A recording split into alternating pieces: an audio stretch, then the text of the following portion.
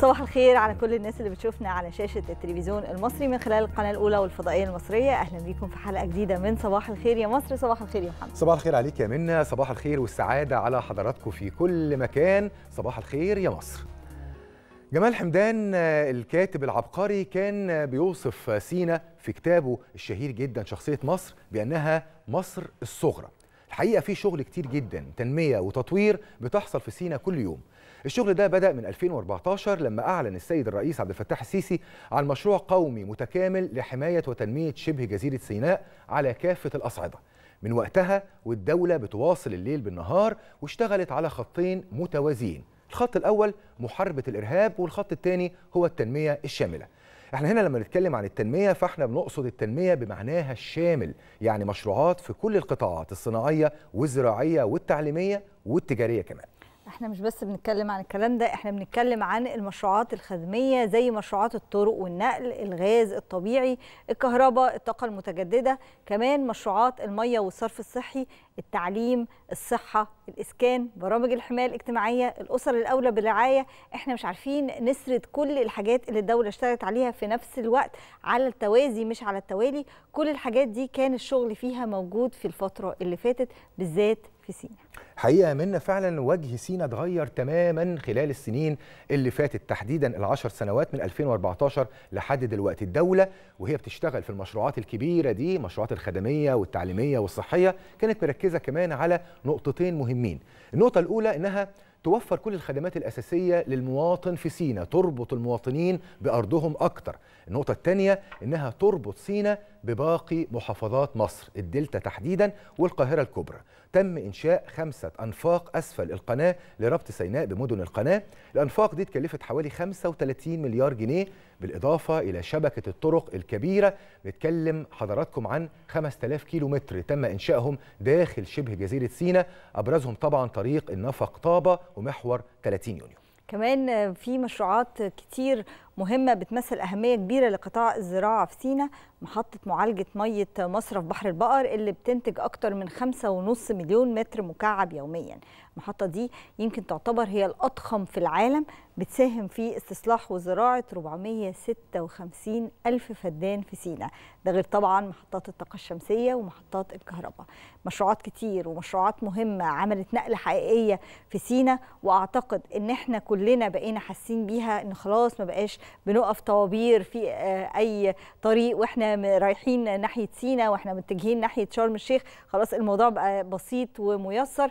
الربط بين سينا وبين مختلف المحافظات الربط اللي موجود بين سينا وبين محافظات القناة اللي بقى بمنتهى السهولة الحركة ما بينهم أعتقد إن ده شيء لا يخفى على أحد حتى اللي ما راحش وما شافش أعتقد بيشوف وبيسمع من الناس اللي حواليه. مرة تانية بنصبح على حضراتكم إحنا هنكون موجودين معاكم النهاردة على مدار ثلاث ساعات. صباح الخير يا مصر. خلونا دلوقتي نصبح مع حضراتكم على زميلتنا هالة الحملاوي. نتعرف منها على أخبار المرور والطقس في القاهرة والمحافظات. صباح الفل والخير عليكي هالة. صباح الفل يا محمد صباح الفل يا منى وصباح الفل على كل اللي بيشوفونا. نبدأ جولتنا المرورية ونستعرض مع حضراتكم أحوال المرور في مناطق مختلفة من مصر وطبعا كالعادة هنبدأ من القاهرة. تحديدا من كوبري أكتوبر اللي بيشهد في الوقت الحالي بعض الكثافات المرورية. شارع رمسيس بيشهد كثافات مرورية هتبدأ تقل تدريجيا لحد ما نوصل لغمرة. كوبري 15 مايو المتجه المهندسين عليه كثافات مرورية. أما شارع بورسعيد من نزلة كوبري أكتوبر فبيشهد سيولة مرورية لحد منطقة الزاوية الحمراء. في كمان كثافات نسبية عند الويلي ولحد كوبري الساحل والأميرية والكورنيش من المظلات إلى وسط البلد. في كثافات مرورية بسيطة ومتقطعة. أما المتجه إلى المؤسسة ففي سيولة مرورية ما عدا بعض الكثافات عند منطقه المظلات.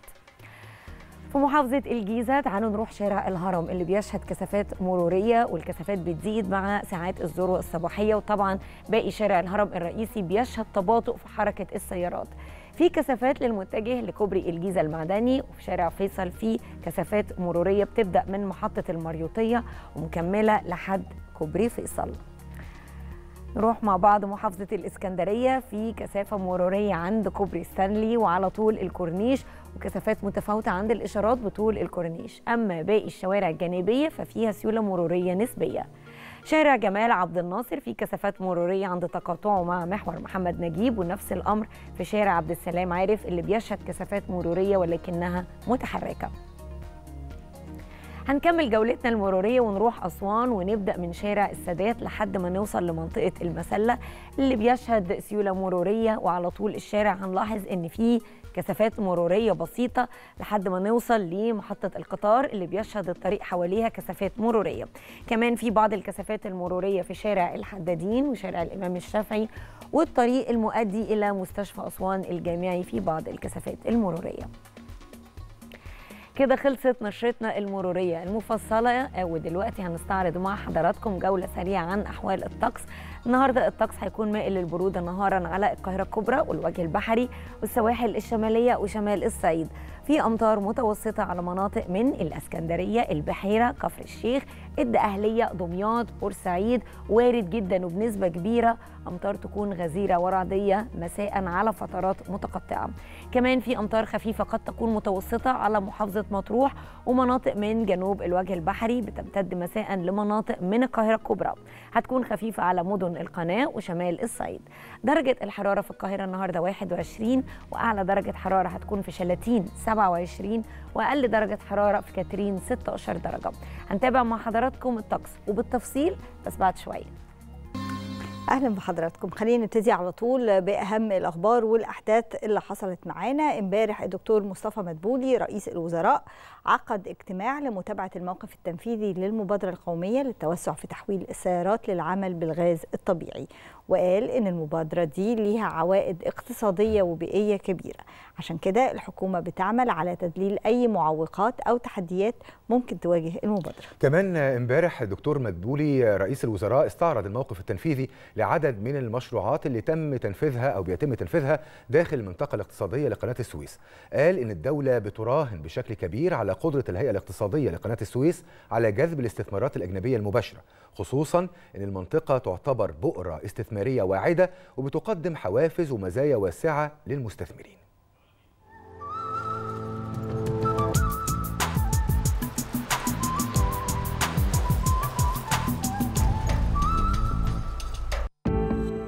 أخبار كتيرة حصلت امبارح. أبرزها اجتماع الدكتور مصطفى مدبولي رئيس الوزراء لمتابعة الموقف التنفيذي للمبادرة القومية للتوسع في تحويل السيارات للعمل بالغاز الطبيعي.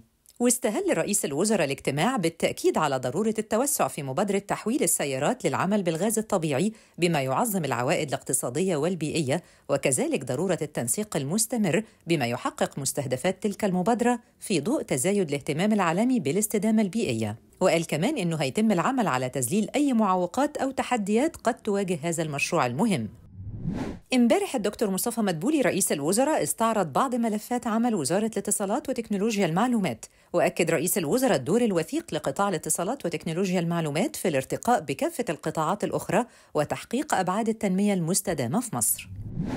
امبارح التقى الدكتور مصطفى مدبولي رئيس الوزراء بمقر الحكومة بالعاصمة الإدارية الجديدة وليد جمال الدين رئيس الهيئة الاقتصادية لقناة السويس لاستعراض الموقف التنفيذي لعدد من المشروعات اللي بيتم تنفيذها داخل المنطقة الاقتصادية لقناة السويس. واستهل رئيس الوزراء الاجتماع بالإشارة إلى أن الدولة المصرية بتراهن على قدرة الهيئة الاقتصادية لقناة السويس على جذب الاستثمارات الأجنبية المباشرة وهو ما حدث بالفعل على مدار الفترة الماضية وهو ما يؤكد أن هذه المنطقة هي بؤرة استثمارية واعدة قادرة على المنافسة لما تمنحه من حوافز ومزايا واسعة للمستثمرين. امبارح عقد الدكتور مصطفى مدبولي رئيس الوزراء اجتماع لمتابعة جهود توفير الأدوية والمستلزمات الطبية بالمستشفيات وأكد رئيس الوزراء استمرار جهود الدولة في توفير الأدوية ومختلف المستلزمات الطبية فضلاً عن السعي لأن تصبح مصر مركز إقليمي عالمي لصناعة الدواء بهدف الاستثمار والتصدير ودعم اقتصاد الدولة. وناقش الاجتماع أيضا الموقف المالي الراهن لهيئة الشراء الموحد ومتطلبات توفير المستلزمات والتعاقدات.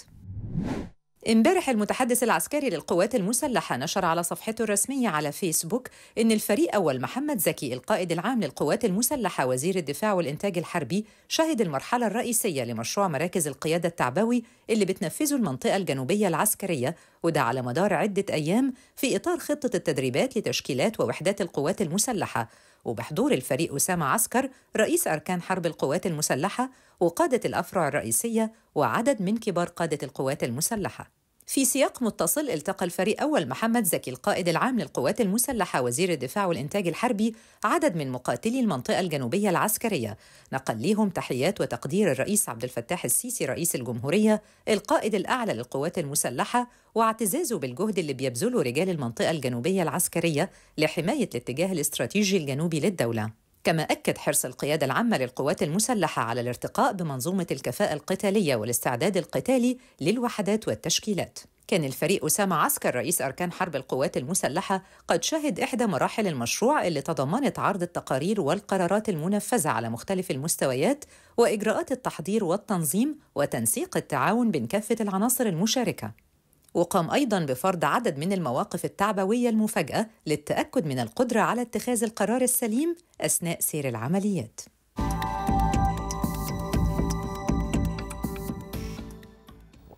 نروح مع حضراتكم لخارج القاهرة وجولة مع أخبار المحافظات والبداية من محافظة قنا حيث تم افتتاح فعالية قافلة جامعة عين شمس الطبية في مركز قوس وكمان في اسكندرية تم فحص وعلاج 1281 مريض ضمن قافلة حياة كريمة. امبارح كمان في الشرقية تم تسليم 4 مليون جنيه للمستفيدين من برنامج فرصة والنهاردة في بني سويف هيتم قطع المياه عن عدد من قرى مركز بيبا لمدة 14 ساعة بسبب أعمال التطوير والصيانة. خلينا نعرف تفاصيل أكتر عن المحافظات في التقرير اللي جاي.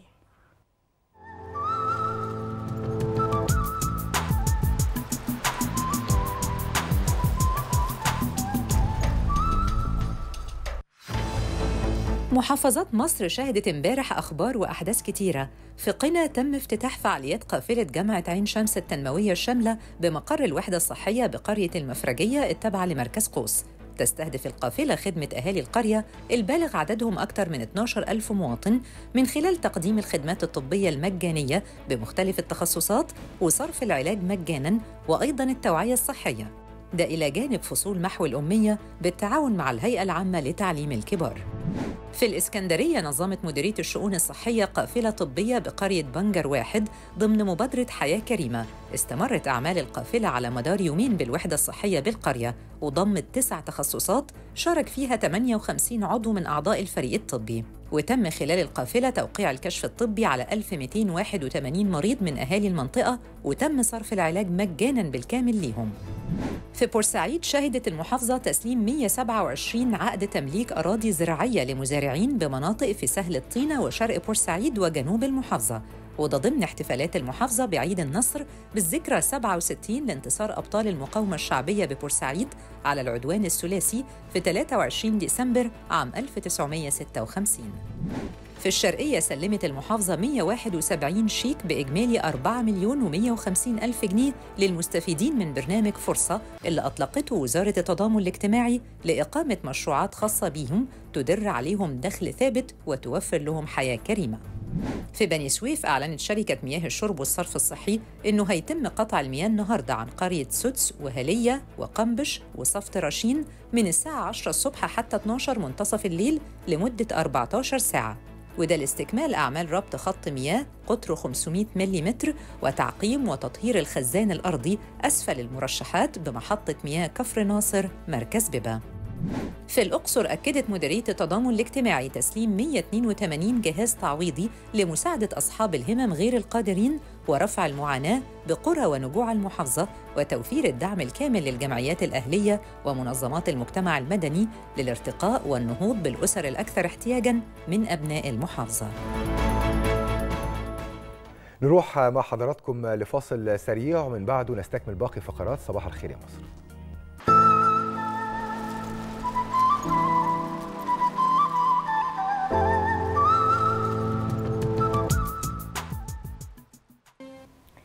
بنصبح على حضراتكم مرة تانية. هيئة الأرصاد بتتوقع أن النهاردة الطقس هيكون مائل للبرودة نهارا على القاهرة الكبرى والوجه البحري والسواحل الشمالية وشمال الصعيد. مائل للحرارة على جنوب سيناء وجنوب الصعيد وبالليل الجو هيكون بارد على أغلب الأنحاء.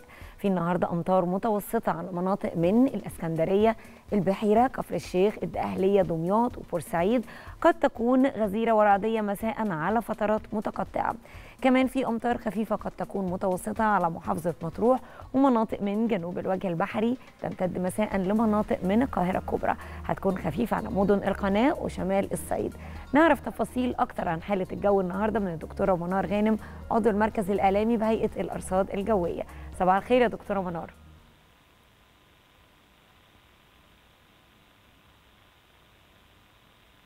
دكتورة منار صباح الخير. حضرتك سامعاني؟ أيوه صباح الخير على حضرتك أستاذة هالة وصباح الخير على كل السادة المشاهدين. أهلا بحضرتك يا دكتورة منار. دلوقتي إحنا شايفين إن النهارده في فرص أمطار غزيرة في بعض مناطق الجمهورية فطمنينا أحوال الطقس إيه وبالليل الجو هيكون عامل إزاي؟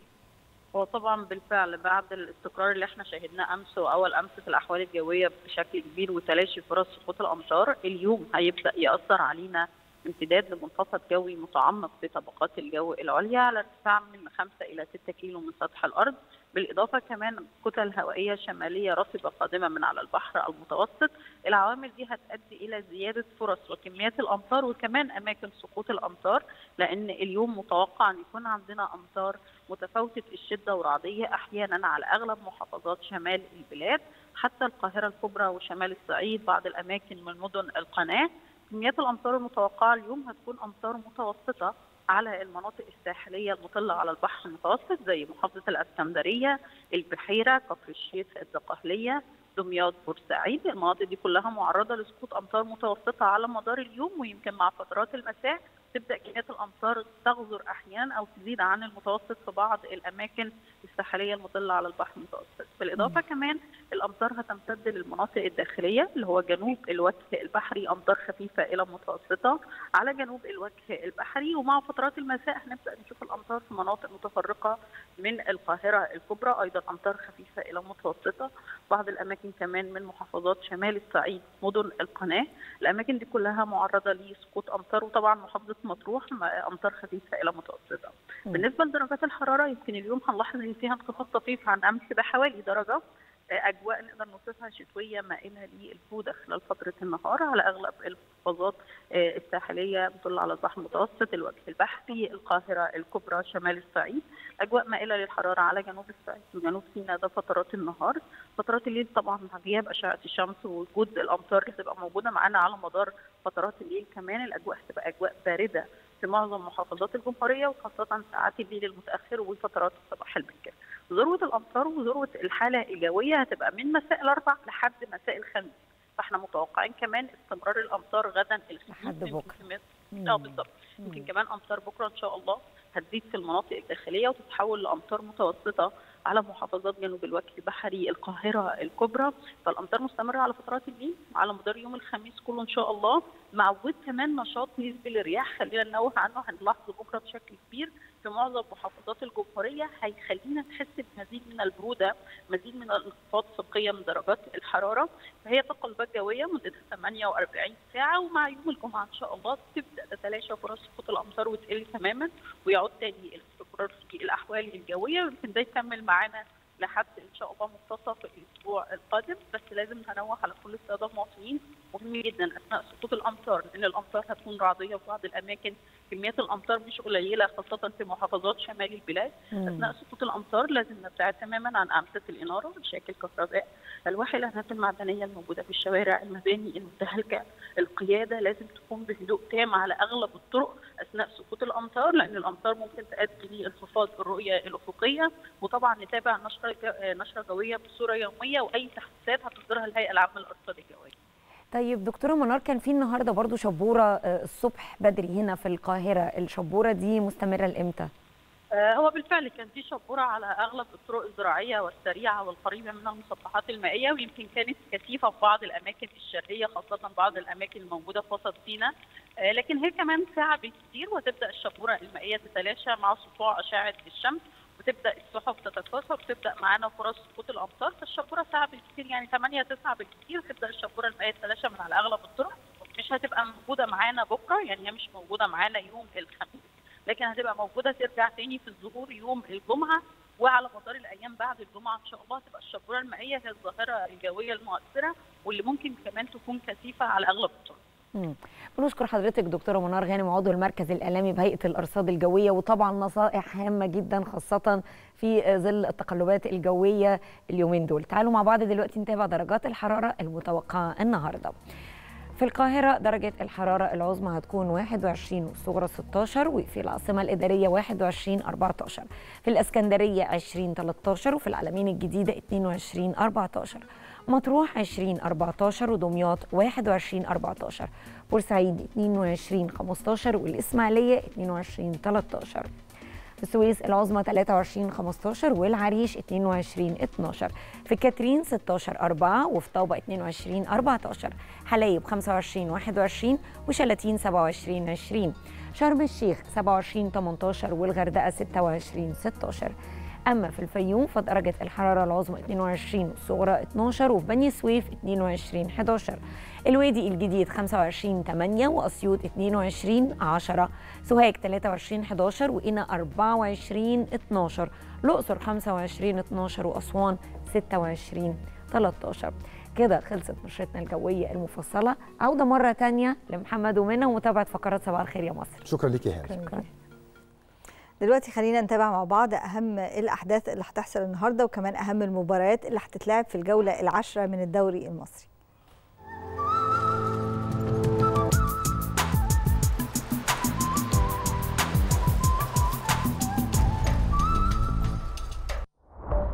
بالنسبة لأخبار النهاردة هتشهد جامعة القاهرة احتفالية عيد العلم الثمنتاشر لتكريم عدد من الوزراء وستين شخصية من علمائها ومفكريها وباحثيها الحاصلين على جوائز الدولة والجامعة بأنواعها في مختلف المجالات العلمية عن عام 2022 وده في تمام الساعة الخامسة مساء بقاعة الاحتفالات الكبرى بالجامعة.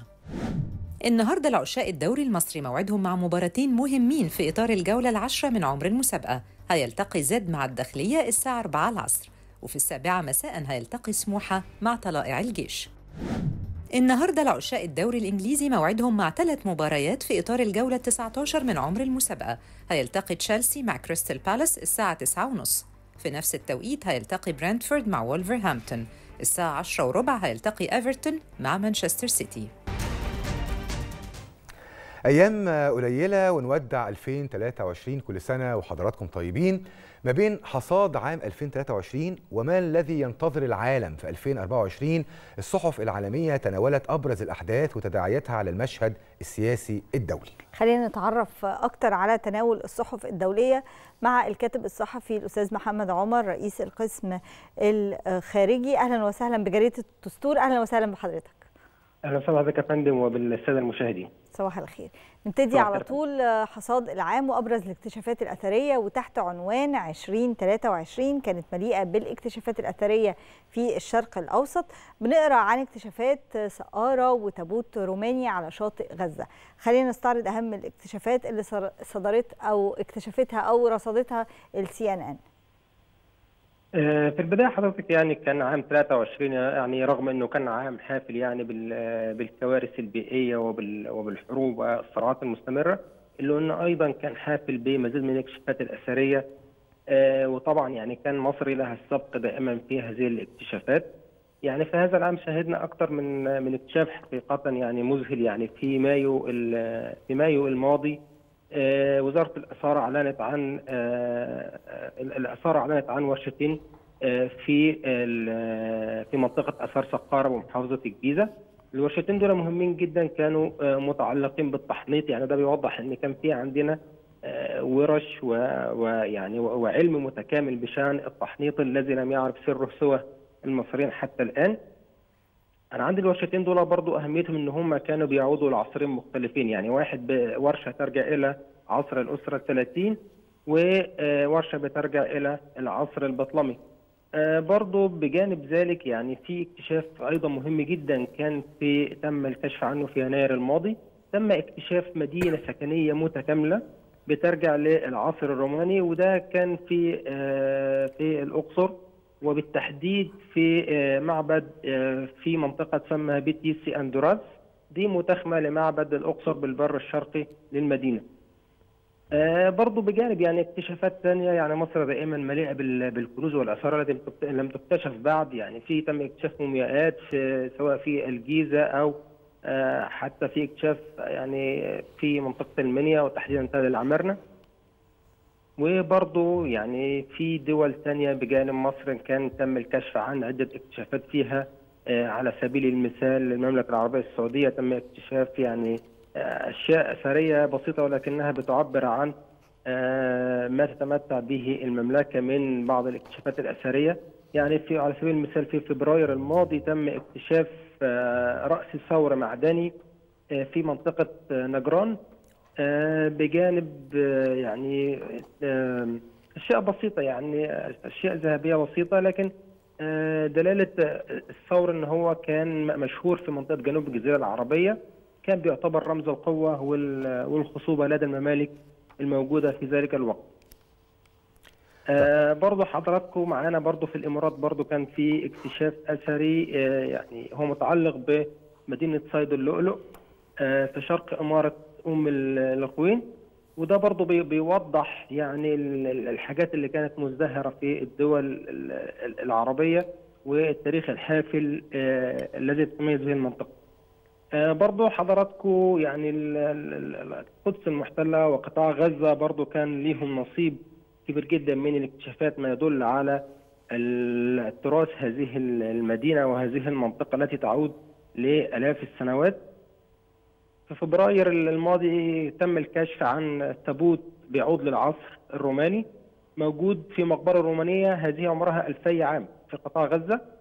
المقبرة يعني كانت بالقرب من الساحل الشمالي لقطاع غزة على البحر المتوسط يعني بتبعد فقط حوالي 500 متر من البحر. برضو سلطنة عمان يعني سلطنة عمان برضو يعني دولة لها تاريخ عريق يعني امتد لآلاف السنوات. تم اكتشاف مستوطنة أثرية فيها بيمتد تاريخها لحوالي 5000 عام. ده كان في يعني قريب من محافظة في منطقة الغريين الأثرية. المستوطنة دي يعني بتوضح كيف عاش الناس في في سلطنة عمان قديما منذ حوالي خمسة ألاف عام وتحديدا في العصر البرونزي. يعني حضرتك يعني في جولة كده تجولنا ما بين مصر وغزة وسلطنة عمان والإمارات كان عام مليء بالاكتشافات الأثرية في منطقة بشكل كبير وده بيضع تحديدا مصر كمان على خريطة السياحة الأثرية إن إحنا الاكتشافات دي إحنا ممكن طبعا بنستفيد منها الفترة المقبلة وتضع مصر على خريطة السياحة الأثرية. طب أنا عايز أروح مع حضرتك أستاذ محمد لو سمحت لي إلى الواشنطن بوست لأنه 2023 ناس كتير جدا شايفين إنها كانت مليئة بالأحداث السيئة. من أول يوم استمرار للحرب الروسية الأوكرانية وفي نهاية العام طبعا الحرب الهمجية على قطاع غزة صراعات وحروب كثيرة جدا. واشنطن بوست بتقول لنا عكس كده بتقول لنا إن في عنوان في هذه الصحيفة العنوان بيطرح هذا التساؤل. هل حدث شيء جيد في 2023 في الواقع نعم. الجريدة بتستعرض أستاذ محمد أهم الأخبار الجيدة في 2023 ممكن تكلمنا عنها؟ هو بالطبع يعني زميلي العزيز زي ما حضرتك ذكرت الصحيفة استعرضت عدة أشياء جيدة لكنها يعني بشكل أساسي كانت اكتشافات علمية وخاصة متعلقة بالطب بشكل أساسي لأن زي ما حضرتك ذكرت يعني إن الأحداث السيئة وخاصة الأحداث السياسية سواء الحرب الأوكرانية الحرب في غزة أو ما نشاهد شاهدناه من زلازل وقعت هذا العام سواء زلزال تركيا أو زلزال سوريا أو زلزال اللي حدث في المغرب أيضا. دول كان الابرز بجانب ظواهر ثانية إلا إنه كان يعني الأمل دائما في العلم يعني كما ذكرت زميلي العزيز تم استعراض يعني عدة اكتشافات متعلقة بمواجهة أمراض شديدة الخطورة زي الملاريا وامراض ثانية كتير جدا. فهنا الصحيفة يعني هنا الصحيفة برضو رسالة بتأكد إنه لا يعني مهما كان هناك صعوبات وهناك أزمات إلا إنه الاكتشافات العلمية والطبية هي من تمنح الناس الحياة والأمل وليس الصراعات والحروب. طيب خلينا نتحول للوموند الفرنسية اللي إحنا شايفين توجهها في هذا المقال وكأنها مش راضية عن اللي بيحصل والحرب الغاشمة على غزة. افتتاحيتها بتقول غزة حرب بنيامين نتنياهو التي لا نهاية لها. بتأكد أن لا مبالاة المسؤولين الدوليين في مواجهة المذبحة المستمرة في غزة بتسمح لرئيس الوزراء الإسرائيلي بفرض حالة حرب دايمة. لو حضرتك تقرأ لنا أكثر تفاصيل المقال. هو طبعا بالطبع يعني الصحيفة لم يعني يعني أكدت على ما هو قديم منذ بداية الحرب الهمجيه على الشعب الفلسطيني في قطاع غزة وأيضا في الضفة الغربية. يعني نتنياهو بسبب الدعم الأمريكي اللامحدود في بداية الحرب وأيضا الدعم الغربي الذي بدأ يتراجع امام الضغط الشعبي سواء الضغط الشعبي العربي وأيضا الحكومي العربي وحتى في الداخل. فأصبح هناك ضغوط عليه وهذا الأمر يعني انعكس زي ما حضرتك ذكرت في مقال ليموند إن هو بقى يعني في بدأت دلوقتي حضرتك انتقادات علنية وشديدة جدا لنتنياهو وحتى أيضا التعامل الغربي مع إسرائيل وما تقوم به في قطاع غزة. يعني حضرتك الآن وصلنا إلى حوالي ثلاثة أشهر يعني إسرائيل تمارس فيها جميع أنواع الانتهاكات والقتل. يعني حتى الآن لدينا أكثر من 21 يعني حوالي 21 ألف شهيد و وأكثر من 50 ألف مصاب وآلاف المفقودين بخلاف تدمير أكثر من من نصف قطاع غزة. فهي الصحفية بتتحدث أنه بعد كل هذه الانتهاكات وهذه الحرب المستمرة إلا أن نتنياهو يعني لا يبالي بما يحدث. وأيضا يعني حتى تحدثت على إنه هو لا يبالي حتى بمصير المحتجزين الإسرائيليين لدى الفصائل الفلسطينية. يعني هو يعني العمليات العسكرية التي يقوم بها والقصف الجوي يعني ساهم في وفاة العديد من المحتجزين لدى فصائل المقاومة. وزي ما حضراتكم تابعنا يعني كان تم الإعلان عن مقتل الكثير منهم نتيجة عمليات الجيش الإسرائيلي. فهنا الصحيفة يعني بتتحدث على إن هو نتنياهو بيسعى للانتقام وإيقاع أكبر قدر من الخسائر وبيحاول إن هو يبحث عن طوق نجاة يعني البقاء في السلطة يعني هو لا يهمه إلا البقاء في السلطة حتى لو تسبب في تدمير قطاع غزة بأكمله بخلاف الخسائر التي سببها لسكان إسرائيل. يعني زي ما حضرتك قلت الكلمة الأخيرة يعني همه الاساسي البقاء في السلطة كأن المعركة معركة شخصية بشكل كبير إنه يستمر في رئاسة الحكومة بعد انتهاء هذه الحرب. هروح مع حضرتك أستاذ محمد إلى لوموند. يعني إحنا مكملين معاها. وفي مقال لافت تحت عنوان تاريخ إسرائيل الطويل ضد الأمم المتحدة. المقال بيستعرض في الكاتب يعني مجموعة من المحطات المختلفة إزاي أمريكا أو إزاي إسرائيل بشكل دائم كانت يعني ضد الأمم المتحدة. وصولا إلى طبعا موقفها من أنطونيو جوتيريش اللي, اللي كان منحاز نوعا ما إلى الحق الفلسطيني والمطالبة باستقالته. من المحطات كمان إنه بنيامين نتنياهو اختار سفير لدى الأمم المتحدة من 84 إلى 1988 وكان يعني بيقود حملة كبيرة جدا لتشويه هذه المؤسسة سمعة هذه المؤسسة الدولية. قرأت المقال ده إزاي وإزاي بتفسر هذا النهج المستمر لإسرائيل ضد أكبر منظمة أممية في العالم الأمم المتحدة؟ أنا هنطلق من آخر كلمة حضرتك ذكرتها نهج إسرائيل تجاه الأمم المتحدة، هو ليس يعني فقط نهج إسرائيل تجاه الأمم المتحدة ولكن تجاه أي منظمة أو دولة أو حتى صوت فردي بيكشف عن انتهاكاتها، يعني زي ما حضرتك يعني في قطاع غزة تم قتل أكثر من 100 صحفي لا لمجرد أنهم ينقلون الواقع والصورة فقط دون أي تزييف والانتهاكات هي تنتقم منهم. هذا الانتقام لم يتوقف حتى أو التشويه على الصحفيين في قطاع غزة أو غيرهم ولكن وصل الأمر إلى الأمم المتحدة. يعني حضرتك تابعنا من كام يوم وزير الخارجية الإسرائيلي منع حصول مسؤولين في الأمم المتحدة على تأشيرات للدخول سواء لإسرائيل أو حتى الضفة الغربية. فطبعا ده بي يعني بي بيوضح كم الانتهاكات تجاه الأمم المتحدة وهي أصلا المنظمة يعني التي اعترفت بإسرائيل ومنحتها الحق صحيح. في الوجود كما ذكرت. ورغم هذا يعني رغم هذا إلا أنها تعرضت لهجوم ضاري من الاحتلال لأن يعني ما يجري في غزة لا أحد يستطيع أن يصمد تجاهه وإلا يكون اصم واعمى يعني نتنياهو آه أنطونيو جوتيريش زي ما حضرتك آه ذكرت برضه كان ليه النصيب الأكبر من الاتهامات واتهامه بانه متحيز واتهامات والمطالبه بل برحيله عن المنظمة. يعني في تبجح وعداء تجاه شخص جوتيرش وشخص المنظمة الأممية.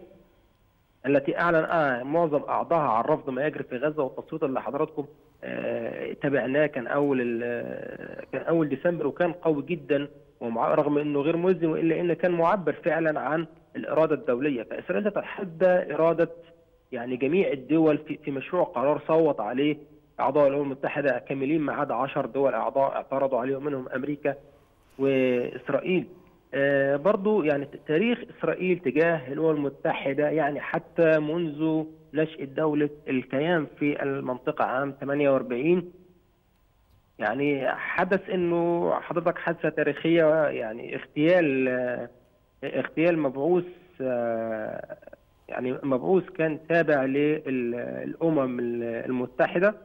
ده كان عام 48 يعني حينما تم إنهاء الانتداب البريطاني وإعلان قيام دولة إسرائيل عام 48 الامم المتحده عينت في ذلك الوقت وسيطه هو فولك برنادوت. ده تفاوض مع آه مع السلطات في في في ألمانيا السلطات النازية من أجل الإفراج عن السجناء اللي كانوا محتجزين هناك. وكان من ضمنهم حوالي 6500 و500 يهودي وكان برنادوت يعني اقترح في يعني رغم إن دوره في الإفراج عن اليهود وانتقاله بعد ذلك لحل الأزمة في فلسطين وكان اقترح سنة 48 فكرة التقسيم تقسيم صحيح. القدس وعودة اللاجئين الفلسطينيين.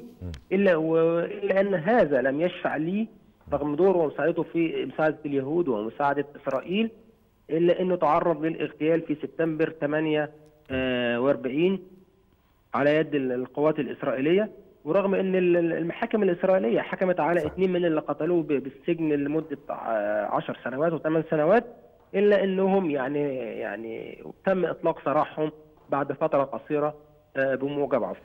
طيب بقى ما زلنا مع الصحافة الفرنسية اللي واضح أنها غير راضية عما يحدث في الأراضي الفلسطينية الفيجارو الفرنسية أو لفيجارو تحت عنوان الوطن القومي اليهودي إلى الحروب الأخيرة. التاريخ الطويل للصراع الإسرائيلي الفلسطيني بيستعرض بالخرائط تاريخ مشاهدته لأرض فلسطين. خلينا نتابع الخرائط وإزاي بتكشف ما حاولت إسرائيل تزييفه. بالطبع يعني التاريخ لا يمكن تزييفه يعني يعني التاريخ لن يزيف والتاريخ باقي. يعني نحن ليس لدينا فقط تاريخ وكتب ومراجع نعود إليها من أجل معرفة فلسطين. لكن يعني هناك من اجدادنا وآبائنا في فلسطين وفي غيرها من الدول العربية. يعني عمرهم اقدم من من دولة إسرائيل ذاتها. نعم. فالأمر يعني حتى لا يحتاج إلى خرائط لنعرف الأراضي الفلسطينية ومن أين جاءت إسرائيل؟ إلا إنه حضرتك زي ما ذكرتي إن في غضب في الصحف الفرنسية والصحف الغربية عامة وتسليط الضوء على انتهاكات إسرائيل ومن ضمنها حتى اللي هو وصل الأمر إن هو الوطن القومي لليهود. يعني هو بيتحدث إزاي إن هو نشأ وفكره بيستعرض اللي هي النشأة الأخيرة.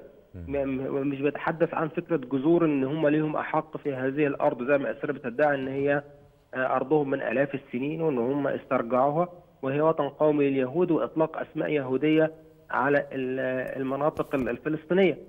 فهو هنا التقرير أهميته حقيقة يعني زي ما حضرتك ذكرتي إن هو فكرة التزييف يعني هو مجرد يعني طرح هذه الأمور لم يكن سائدا من قبل في الصحافة الغربية وحتى فرنسا يعني كانت داعمة برضه بشدة لإسرائيل حتى إنه في بداية الحرب تم إرسال سفينة حربية فرنسية من أجل في رسالة دعم لاسرائيل في بداية الحرب إلا إن إحنا نصل إلى هذه النقطة إن الصحف الفرنسية تتحدث عن فكرة الوطن القومي اليهود وكيف نشأ والتشكيك أصلا في وجود هذا الأمر.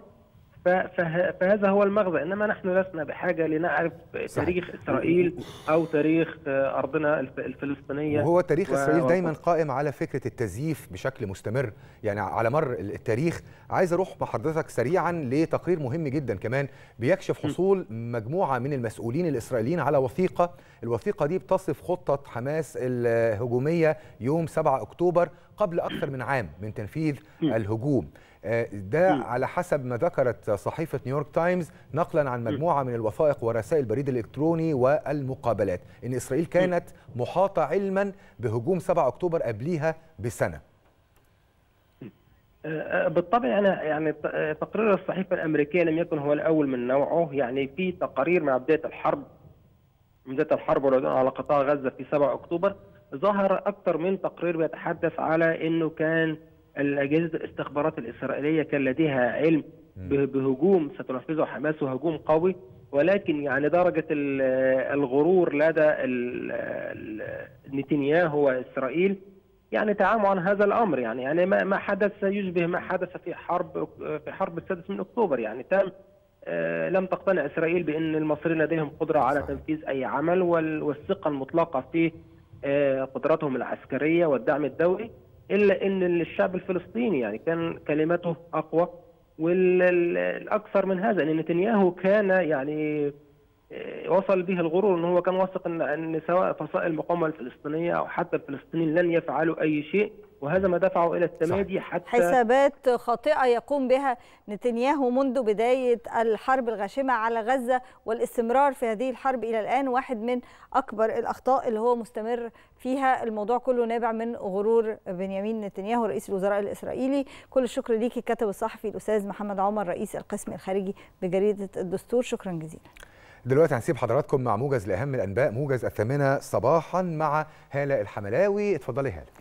شكرا محمد. الثامنة صباحا بتوقيت القاهرة السادسة بتوقيت جرينتش موجز الأخبار من التلفزيون المصري. أهلا بكم.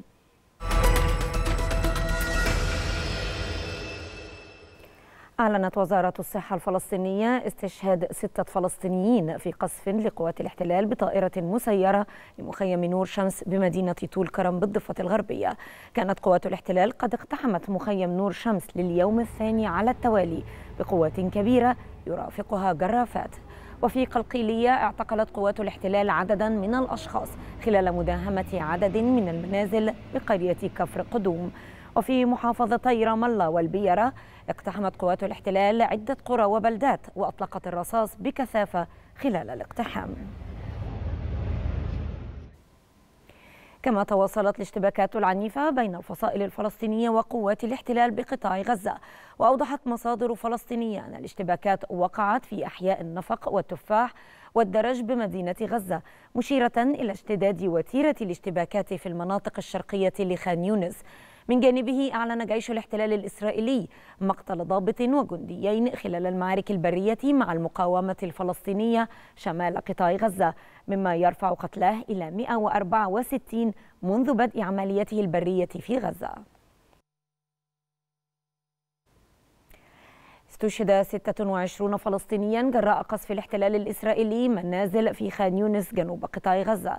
كما استهدفت طائرات الاحتلال بشكل كثيف مخيم جباليا شمال القطاع مما أسفر عن استشهاد وإصابة عدد من الفلسطينيين. كما استشهد خمسة فلسطينيين وأصيب آخرون في غارات إسرائيلية على منزلين في مدينة رفح جنوب قطاع غزة. أعلنت وزارة الدفاع الأمريكية البنتاغون أن القوات الأمريكية أسقطت أكثر من عشر طائرات مسيرة وصواريخ فوق البحر الأحمر. وأوضحت البنتاغون في بيان لها أنه لم تحدث أضرار للسفن في المنطقة ولم يتم الإبلاغ عن وقوع إصابات. أعربت فرنسا عن قلقها العميق من إعلان الاحتلال تكثيف عملياته في قطاع غزة وإطالة أمد الحرب.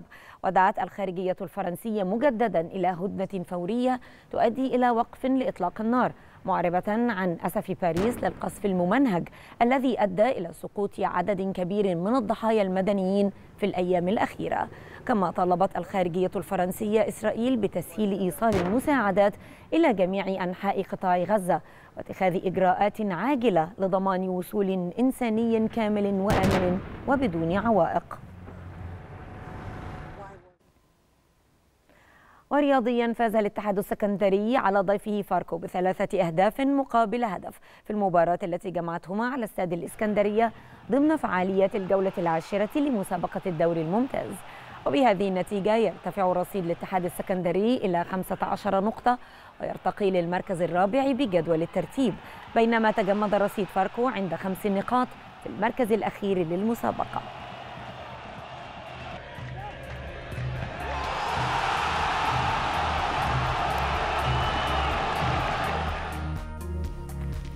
انتهى موجز الثامنة وعودة لاستكمال باقي فقرات برنامج صباح الخير يا مصر بعد الفاصل.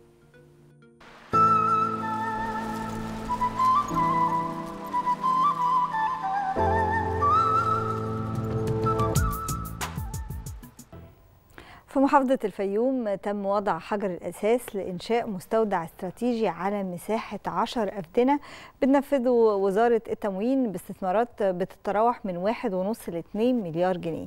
المشروع بيتم تنفيذه لضمان سلامة وجودة المنتجات وكمان تأمين مخزون استراتيجي من المنتجات الغذائية على مدار العام. نتعرف على تفاصيل أكتر معانا على الهاتف الأستاذ سيد حزالة وكيل وزارة التموين بمحافظة الفيوم.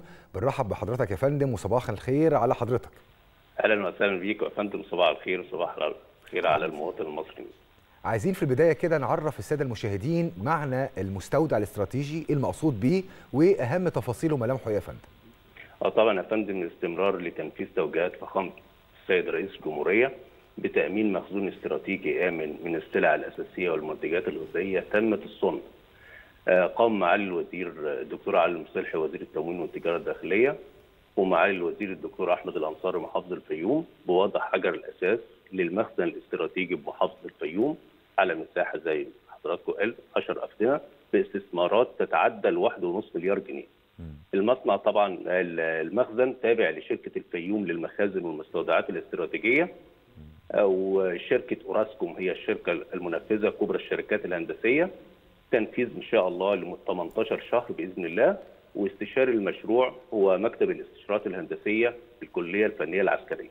الهدف طبعا من إنشاء المشروع يا فندم زيادة الاحتياطي الاستراتيجي من السلع الأساسية، السلع التموينية تصرف البطاقة التموينية والسلع الاستراتيجية الأساسية للمواطن والمخزن ده هيخدم المحافظات المجاورة على أساس تتأمن احتياجات الاستراتيجية من السلع الأساسية المحافظات المجاورة الجيزة، الفيوم، بني سويف، المنيا.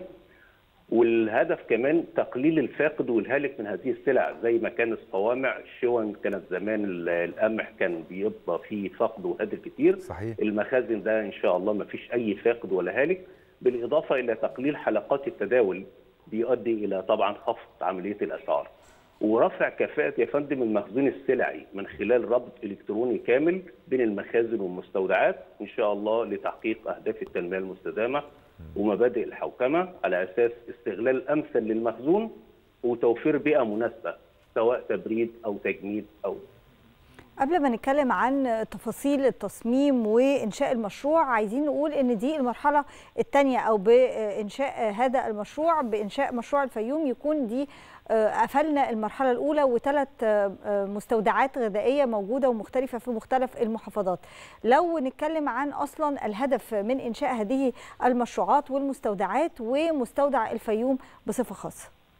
هو طبعا الهدف من الأساس هو تم اختيار الأماكن يا فندم بالنسبة لل ضبط المنظومة التموينية على أساس إن إحنا بيتم اختيار المكان ده سواء بالقرب من المناطق اللي فيها المواني والسلع المستوردة أو محيط المنطقة الصناعية المنتجة لهذه السلع. تم تحديد يمكن المرحلة الأولى كانت السويس وكان الأقصر والفيوم. إن شاء الله رب العالمين هتتم في خلال 18 شهر بإذن الله الهدف تقليل الفقد والهالك على أساس على أساس إن ما يبقاش في أي نسبة من الهالك وتقليل حلقات التداول طبعا من من مخزن لمخزن لمخزن الكلام ده كله بيأثر ووسائل النقل طبعا. بيأثر على الأسعار إن شاء الله هيبقى في تخفيض في الأسعار وتوفير السلع بسهولة لجميع المحافظات المجاورة. طيب إيه هي أهم التفاصيل اللي تم مراعاتها في تصميم وإنشاء المشروع حتى يكون كمان مواكب ومطابق للتقدم التكنولوجي خاصة إن إحنا أستاذ سيد الفترة اللي فاتت شفنا توجه الدولة المصرية لإنشاء مناطق لوجستية كثيرة في أكثر من مكان وفي أكثر من محافظة.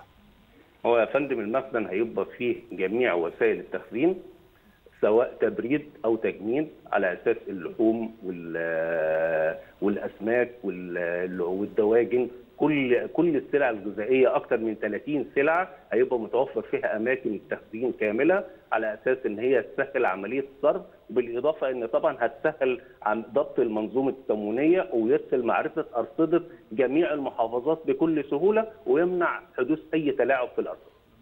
أكيد. المخزون الاستراتيجي من من المنتجات المفروض يكون بيكفينا كام شهر؟ إحنا دايما بنسمع مصطلح المخزون الاستراتيجي بنبقى مش عارفين ده المفروض يقعد معانا قد إيه ده بيختلف من سلعة للتانية. إيه قصة المخزون الاستراتيجي دي؟ لو نبسطها.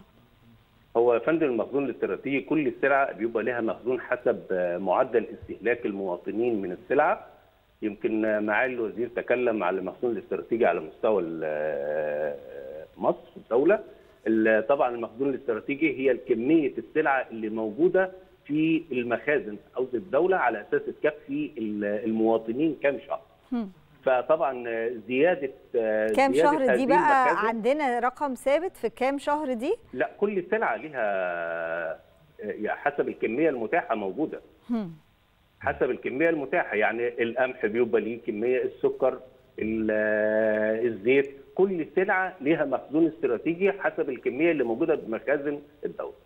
تمام. طب حضرتك قلت لنا إنه المستودع ده أو المخزن الاستراتيجي مش هيخدم الفيوم فقط هيخدم كمان محافظات مجاورة بشكل كبير وتم وضع وتدشين وتم وضع حجر الأساس المدة المستهدفة للانتهاء من هذا المشروع قد إيه يا فندم؟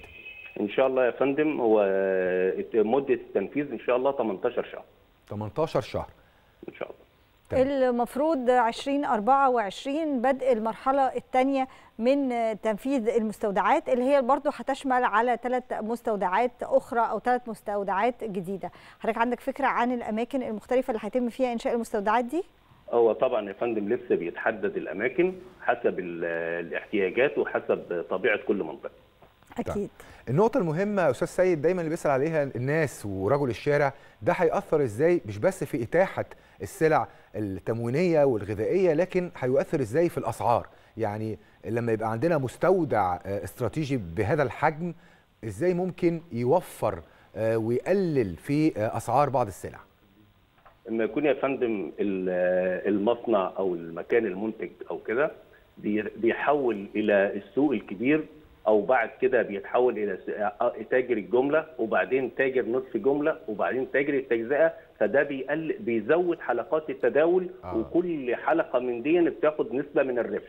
لأن طبعا وجود المخازن الاستراتيجية دي بيطلع من من المصنع إلى المخزن الاستراتيجي مباشرة منه للتاجر التجزئة. فمعنى كده قللنا حلقات التداول بالإضافة إلى ما نقطة مهمة جدا يا فندم الحلقات الوسيطة وحلقات التداول دي اللي بتزود كل حلقة بتزود هامش ربح دي خلاص هتتلغي هيبقى في مباشرة من المخزن للتاجر صح كده؟ بالظبط يا فندم بالظبط كده. طيب أعتقد إن ده تنفيذ كمان للميكنة اللي بتحصل وللرقمنة اللي بتحصل. يعني أعتقد إنه هيتم تسجيل كل البضائع الموجودة بأسعارها في منظومة بقى السعرية وهيبقى معروف سعرها الكترونيا مش هيبقى فيه تلاعب في الأسعار ابدا. ده يا فندم سعر وكمية. وتاريخ دخولها المخزن وتاريخ خروجها من المخزن. في تحكم آلي كامل بج... بجميع المخازن على مستوى الجمهورية. أكيد أكيد. كل الشكر ليك الأستاذ سيد حرز الله وكيل وزارة التموين بمحافظة الفيوم. شكرا جزيلا. خطوة مهمة جدا طبعا يعني منا لإتاحة السلع الاستراتيجية بالإضافة كمان لضبط الأسعار وضبط الأسواق. وزي ما قال لنا أستاذ سيد إلغاء الحلقات الوسيطة دي اللي هي بتزود في أسعار أو قيمة الأسعار للسلع بشكل كبير. آه نروح دلوقتي منا أخبار الرياضة وأهم كده الأخبار الرياضية وجولة في الملاعب مع هالة الحملاوي. اليكي هالة اتفضلي. شكرا محمد. هناخد بالنا دلوقتي من آه موجز لأهم الأخبار الرياضية المحلية والعالمية. مجلس إدارة اتحاد الكرة وافق على مشاركة منتخب مصر الأولمبي في بطولة دبي الودية اللي هتقام في الإمارات العربية المتحدة ويشارك فيها المنتخبات الأولمبية لكل من السعودية وقطر والإمارات. الاتحاد السكندري واصل عروضه القوية الموسم ده بعد الفوز على فاركو 3-1 في المباراة اللي أقيمت بينهم على استاد الإسكندرية ضمن الجولة العاشرة لمسابقة الدوري المصري. ليرتفع رصيد الاتحاد إلى 15 نقطة في المركز الرابع بجدول الترتيب بينما تجمد رصيد فاركو عند خمس نقاط في المركز الأخير للمسابقة.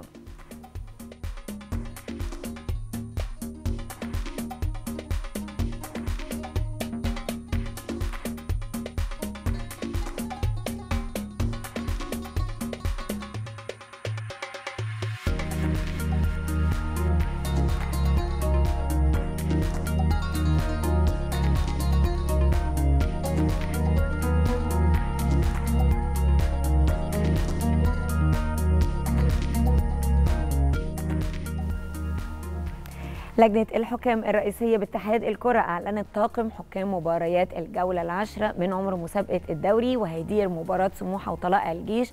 حمادة القلاوي حكما للساحة ويعاونه كل من محمود عبد السميح وحسن رمضان وإبراهيم محمد كحكم رابع. بينما مباراة زد اف سي والداخلية هيديرها السيد شعبان حكما للساحة ويعاونه كل من محمد عزازي وأحمد رشدي ومصطفى الشهدي كحكم رابع.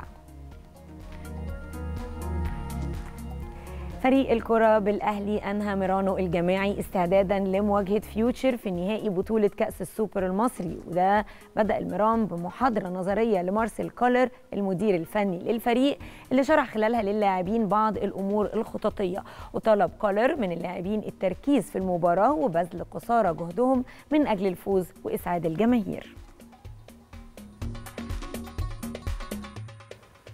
منتخب مصر لكرة السلة رجال فاز على المنتخب الإماراتي بنتيجة 94 46 بافتتاح البطولة العربية لمنتخبات السلة في نسختها ال 25 واللي بتقام في مصر وهتختتم يوم 3 يناير المقبل. ومن المنتظر أن يخوض منتخب مصر تاني مواجهاته في دور المجموعات بالبطولة العربية لكرة السلة النهاردة أمام الكويت.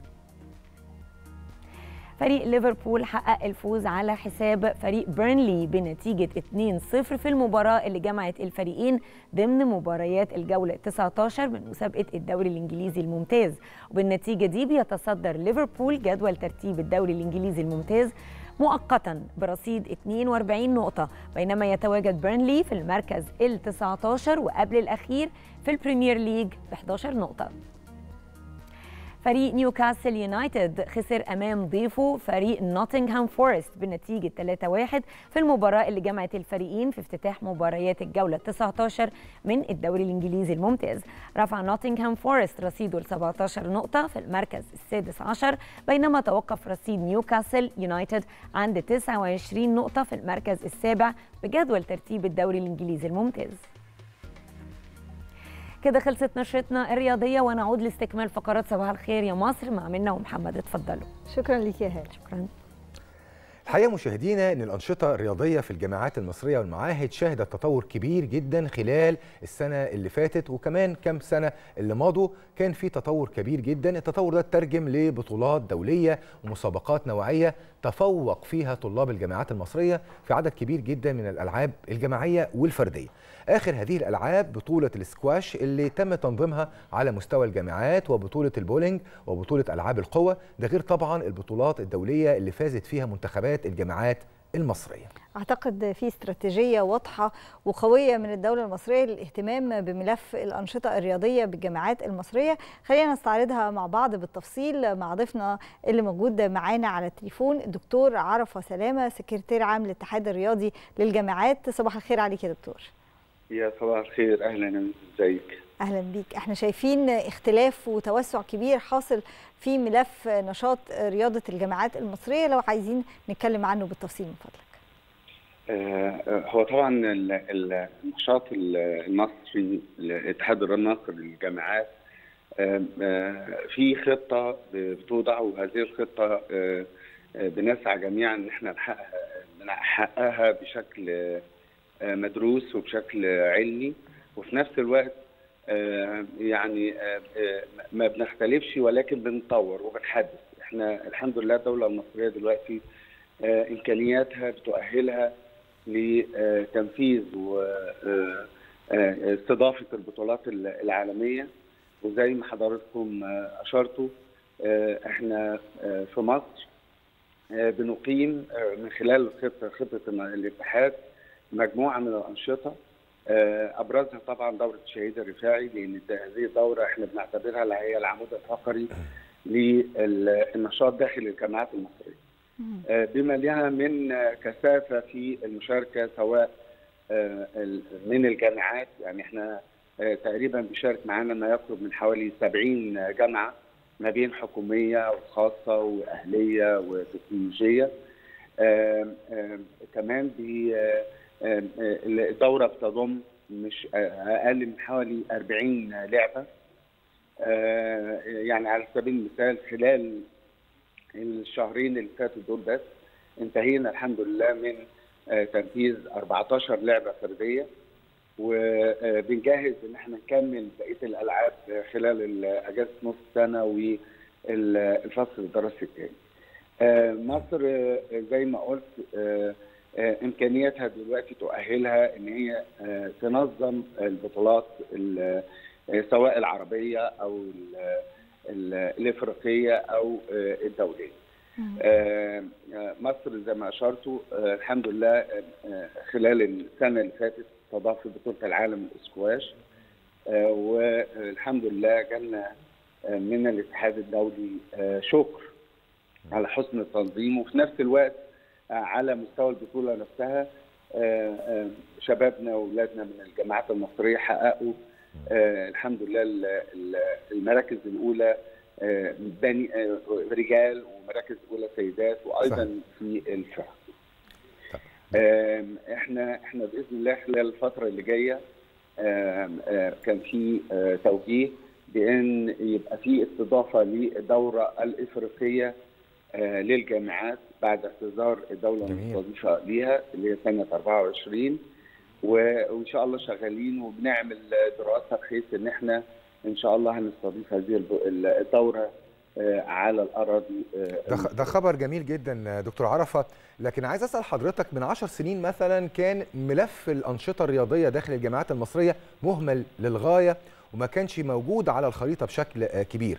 عايز أعرف من حضرتك إزاي وصلنا لهذا الإنجاز ودور الاتحاد الرياضي للجامعات في العمل ككشافة للموهوبين لأن إحنا عندنا مواهب رياضية مبدعة جدا في كافة الجامعات المصرية.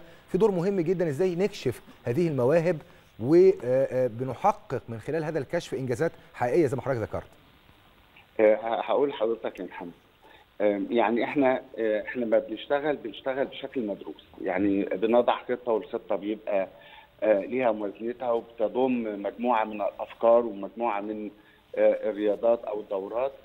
بهدف إن إحنا نخلي طلبه الجامعات يمارسوا الرياضة داخل الجامعات المصرية صحيح. بشكل منظم وشكل مرتب. وفي نفس الوقت زي ما حضرتك كده أشرت إحنا بنشتغل يعني إحنا نفذنا إيفنت تحت مسمى دوري الأبطال. دوري الأبطال ده نظمناه أو اشتغلنا عليه من خلال ثلاث نسخ. الدوري ده فلسفته إيه أو الفكرة بتاعته إيه؟ إن إحنا بن التنافس ما بين طلاب الجامعات يبدأ من الصفوف أو السنوات الدراسية للجامعات. يعني داخل الكليات مش الجامعات كمنتخبات بس كمان لأ. إحنا بندخل داخل الجامعات نفسها الجامعات فيها كام كلية؟ صحيح. الكلية كان فيها سنة دراسية والسنة الدراسية دي بيمارسوا أو بيتنافسوا في أكثر من رياضة على مستوى الجامعات المصرية. فبص تلاقي إن داخل كلية التجارة جامعة القاهرة مثلا أولى بتلاقي الثانية ثانية بتلاقي الثالثة في أكثر من رياضة. ده ده اتجاه. وبعد كده بنصعد ال ال الكلية اللي بتكسب على مستوى الجامعة بتمثل الجامعة بعد كده بيبقى في دوري ما بين الجامعات وبعضها البعض في هذا صحيح. الاتجاه. بالإضافة للكلام ده اللي حضرتك اشرت ان إحنا ما بنكتفيش بالممارسين بالفعل للرياضة لا إحنا عملنا كمان داخل دوري الأبطال ده مراكز تعليم. صحيح. للرياضات نفسها. يعني عرفه بيحب الرياضة بس عايز يمارسها لكن ما يعرفهاش. فبيروح لمراكز التعليم دي داخل الجامعات المصرية وبناء عليها. يعني هي هي أنشطة متكاملة عشان عشان أبني بطل بشكل حقيقي. يعني هي أنا مش بس يمارس الرياضة لا ده أنا لا. فكرة تصنيع بطل رياضي. آه أنا هاجي مع حضرتك كمان في يعني مش مش رياضة بس إحنا رياضة وثقافة وصحة وكل الاتجاهات تقريبا شغالين عليها الحمد لله. فالطالب الجامعي بيروح لمركز التعليم ده هيلاقي مدرب هيلاقي مكان يتدرب فيه هيلاقي إمكانيات مصروف عليها عشان نقدر يعني نخلق الجو لعملية التعليم نفسها. وبدأت بالفعل داخل الجامعات المصرية. أولاد كانوا أساسا ما بيمارسوش الرياضة من خلال مراكز التعليم دي بدأوا يشاركوا في المنتخبات بتاعه كلياتهم وفي جامعاتهم وبقوا أبطال من أبطال الرياضة الجامعية. أكيد. إحنا عندنا كمان في الاتحاد مركز دولي للعلوم الرياضه هذا المركز يعني بالثقافة الرياضية. فبنعمل ورش عمل بنعمل ندوات بنعمل دورات. الهدف منها لنشر الثقافة الرياضية داخل الجامعات المصرية. من خلال بقى الجانب الإعلامي من خلال الجانب الصحي دورات لها علاقة ب الحاجات اللي هي متعلقة بالإسعافات متعلقة بالتغذية الجانب الإداري إزاي يقدر يدير العملية الرياضية داخل الجامعات المصرية سواء كان موظف أو طالب الجانب التدريبي كمان دورات تدريبية بنجيب محاضرين على أعلى مستوى عشان يقدروا يحسنوا من الجانب الثقافي لدى المشاركين في هذا المركز. طيب دكتور آه لما بنيجي نتكلم عن الاتحاد الرياضي للجامعات إزاي بيقوم بدور الكشافة عشان يدور على موهوبين في الجامعات المصرية؟ بيبقى فيه طلبة موهوبين ولكن محتاجين رعاية ومحتاجين حد ياخد باله إنهم عندهم موهبة رياضية ومحتاجين الدعم ده؟ أيوه أنا هقول لحضرتك على حاجة. إحنا السنة دي بنعمل حاجة كمان جديدة. تحت مسوى مسمى الندوة التعريفية بالاتحاد الرياضي المصري للجامعات. هذه الندوة إحنا نفسنا كمجلس إدارة بنروح للجامعات نفسها وبنطلب من رؤساء الجامعات إن إحنا عايزين نعمل ندوات داخل الجامعات. وهذه الندوات بنعرف بيها الطلاب إيه هو الاتحاد الرياضي للجامعات. إزاي نقدر ننفذ نشاط. إزاي نقدر نمارس الرياضة داخل الجامعات. مش شرط إن أنا أكون بلعب في نادي أو منتسب لاتحاد أو هكذا. وبالتالي وعلى هامش هذه الندوات بنعمل مسابقة رياضية. المسابقة دي بيبقى ليها جوائز. فبتبص تلاقي في مشاركة من الطلاب والاولاد نفسهم أو البنات بيدخلوا الندوات دي يطلعوا منها عندهم خلفية إزاي نقدر نعمل نمارس رياضة. دي حاجة، الحاجة الثانية إحنا عندنا على مستوى الجامعات المصرية كلها في قسم رعاية الشباب وهذا القسم طبعا. من ضمن الاخصائيين اللي فيه اللي هو الاخصائي الرياضي ده ده الإيد بتاعنا داخل الجامعات المصرية وده اللي بينفذ الشغل بتاعنا داخل الجامعات المصرية. فده الكشاف اللي حضرتك بتقولي عليه اللي هو ممكن من خلاله لأن إحنا بنبقى اولا بنسعى إلى إن إحنا نطوره اداريا نطوره علميا داخل مركز العلوم اللي عندنا. وبالتالي بن بنوجهه إزاي يعمل عملية الاكتشاف دي داخل الجامعات ما يستناش إن الطالب يتوجه لرعاية الشباب ويقول لهم أنا بمارس رياضة ما شوفوا هنشترك مع بعض في مسابقات إزاي. لا هو اللي بيقوم بقى بتعريف الطلاب والوصول ليهم بشكل يعني في المحاضرات وفي الندوات وفي مختلف الأماكن في رواق الجامعة علشان يقدر يقول لهم إن إحنا عندنا أنشطة تقدروا تمارسوها. بالظبط يا منى وكمان اللي أنا نوهت عليه اللي هي مراكز التعليم هي ما بتبقاش في اماكن مغلقة. يعني إحنا مثلا بنعمل أماكن مفتوحة الأماكن دي بيتواجد فيها المدرب بيتواجد فيها الأخصائي الرياضي. الطالب بيبقى طالع من محاضرته لاقي المكان نفسه سواء بقى بني باسكت أو سواء جهاز لكرة سرعة سواء لترابيزه التنس طاولة. صحيح. فبص تلاقي إن الطالب نفسه وهو ماشي شايف الحاجة قدامه من خلالها بيتشجع بيبدأ يروح لمكان وبيطلب من المدرب أنا عايز أتعلم الرياضة دي وبيدخل في برنامج التعليم نفسه وهكذا. ده شيء عظيم جدا. طبعا كل التقدير والتحية لحضراتكم وكل القائمين على هذا المشروع الكبير جدا. إحنا أمام مشروع لصناعة أبطال حقيقيين في ألعاب مختلفة زي ما شفنا الإنجازات اللي اتحققت في لعبة السكواش. وزي ما حضرتك قلت كمان الطلبة دول والجامعات المصرية هيشاركوا في بطولات خارجية دولية. بشكر حضرتك شكرا جزيلا دكتور عرفة سلامة سكرتير عام الاتحاد الرياضي للجامعات. وصباح الخير على حضرتك. مشاهدينا إحنا لسه مكملين معاكم. خلينا نروح لفاصل ونرجع نستكمل معاكم باقي حلقاتنا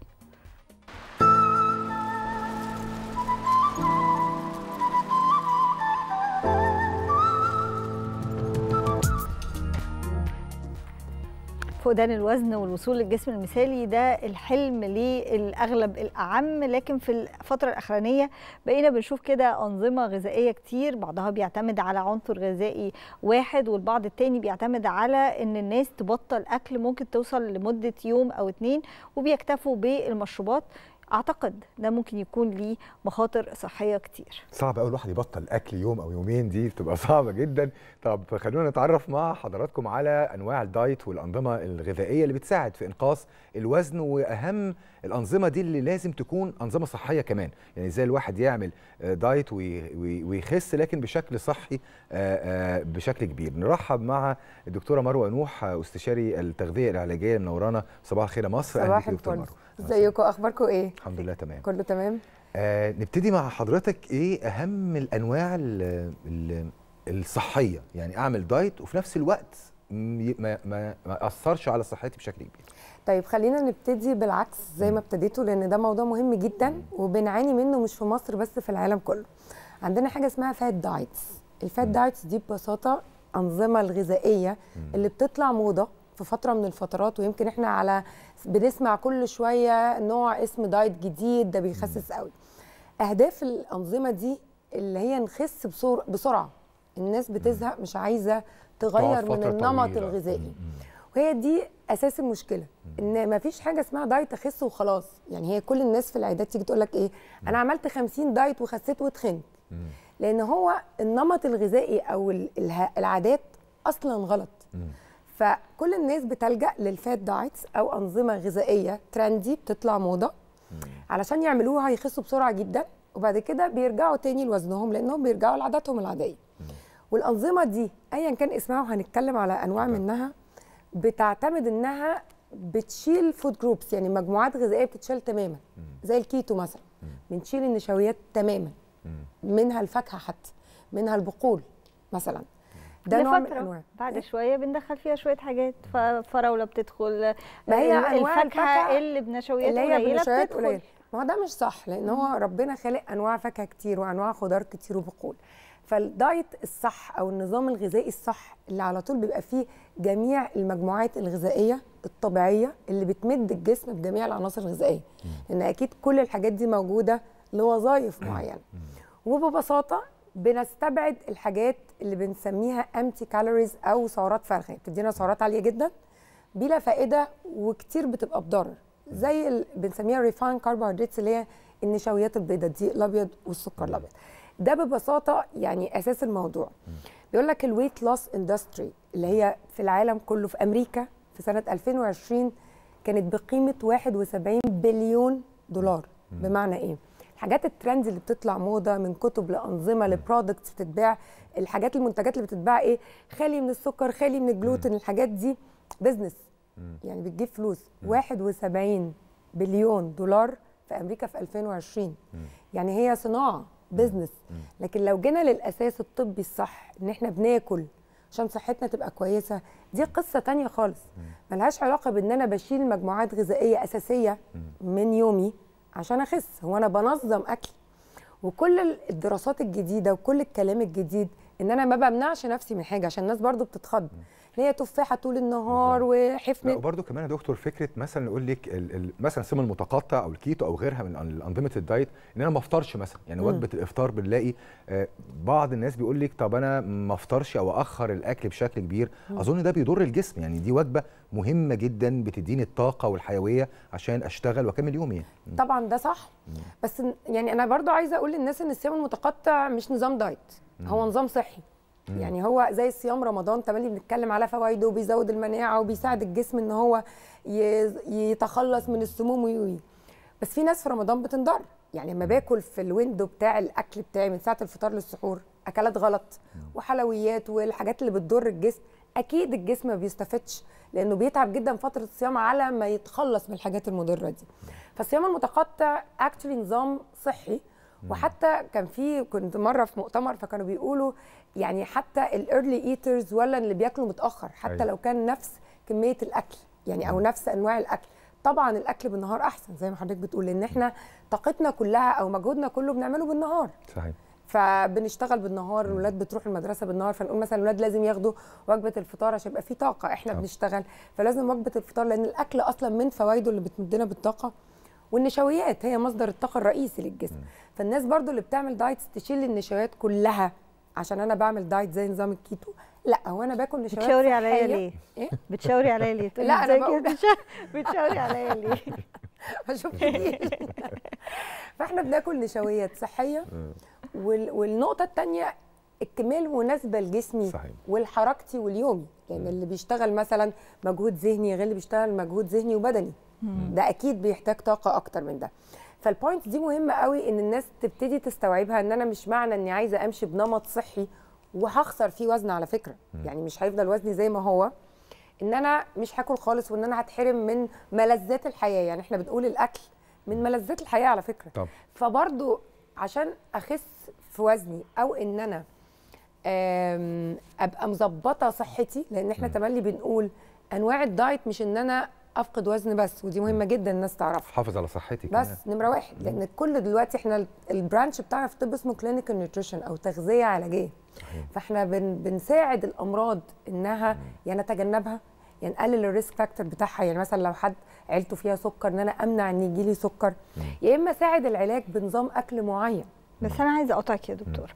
إحنا اختلافات بتبقى موجودة بين الناس وأهداف الناس بتختلف يعني في ناس بتبقى عايزة تعيش ب lifestyle مختلف في ناس عايزة تنقص وزن وبتنقص وزن بسرعة مش لازم دايما بيبقى للعوامل الجمالية وإن كانت نقطة مهمة يعني ما طبعاً. ينفعش نغفلها لكن في ناس بتبقى عندها مشكلة في رجليها فلازم تقلل وزنها بسرعة عشان صح. تعرف تتحرك في ناس عندها مشكلة في التنفس فلازم صح. تقلل الدهون من محيط بطنها مثلا طبعاً. فبتلجأ لأنواع دايت معينة تساعد وبعدها تبتدي تعمل بالانس في أطفال بتبقى عندها سوء تغذية في رياضيين محتاجين أنواع زيادة طبعاً. يعني كل طبعاً. واحد بيبقى له حاجة كل ده لايقة عليه صح. وحسب هو عايز إيه مش لازم تبقى دي. احتياجه لكن هو عايزها جدا وده يحترم جدا عشان كده بنقول إحنا مختلفين بس ممكن أخس بسرعة عشان حالة مرضية زي ما حضرتك قلتي ركبي أو ظهري بصورة صحية هو مش لازم عشان أخس بسرعة أعمل حاجة يعني فيها حرمان للجسم قوي أنا ممكن آخد من كل العناصر الغذائية بس بدل مثلا ما أنا هخس 10 كيلو في 3 شهور ممكن اجيبهم في شهر ونص بان أنا هقرص زيادة بالنظام الغذائي الصحي. بان أنا هاخد كل المجاميع الغذائية بس بطريقة معينة. عشان كده تملي بنقول إيه؟ استشارة الطبيب اللي مش عارف. يعني الناس اللي عارفة وحافظة جسمها وعملت كتير وعرفت إزاي بتخس وصحتها تبقى كويسة ان انت بتختلف ان انت حد خس ال 10 كيلو في شهر ونص تحت عينه اسود وجاله انيميا وشعره يعني أنا بيجي لي في العيادات كده بس يا دكتور أنا شعري ابتدى يقع. بشرتي مش شكلي مش حلو. كل شوية يقول لي انت عينه بالظبط آه. مم. وحد تاني خس نفس الكمية في نفس الوقت ممكن يكون نفس الوزن. خاسس وشه أحسن. يعني بقول لهم إيه؟ أما تخسوا لازم شكلكم يبقى أحلى. أيوة. كده أنا خسيت صح. يعني كده أنا خسيت وأنا باخد العناصر الغذائية الصحيحة. فهي دي اللي بتفرق إن أنا صحتي فرقت ولا تحاليلي.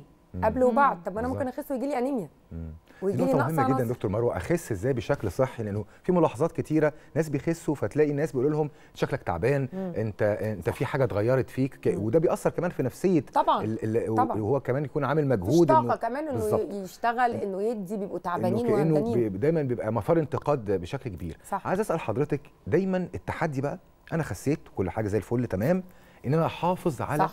اللي أنا حققته. مشكلة الناس كلها. أنا بخس من هنا أو أي حد مش أنا يعني أو ممكن أكون أنا برضو ساعات بخس من هنا وبعد شوية هوب الموضوع يرجع إيه؟ صح. يرجع تاني. تتظبط إزاي ده يا دكتور هقول لك لأن دلوقتي بقى في يعني برضو جزء تعليمي مم. اسمه إزاي أعلم الناس تغير الهابتس. يعني أنا عاداتها. بس كده.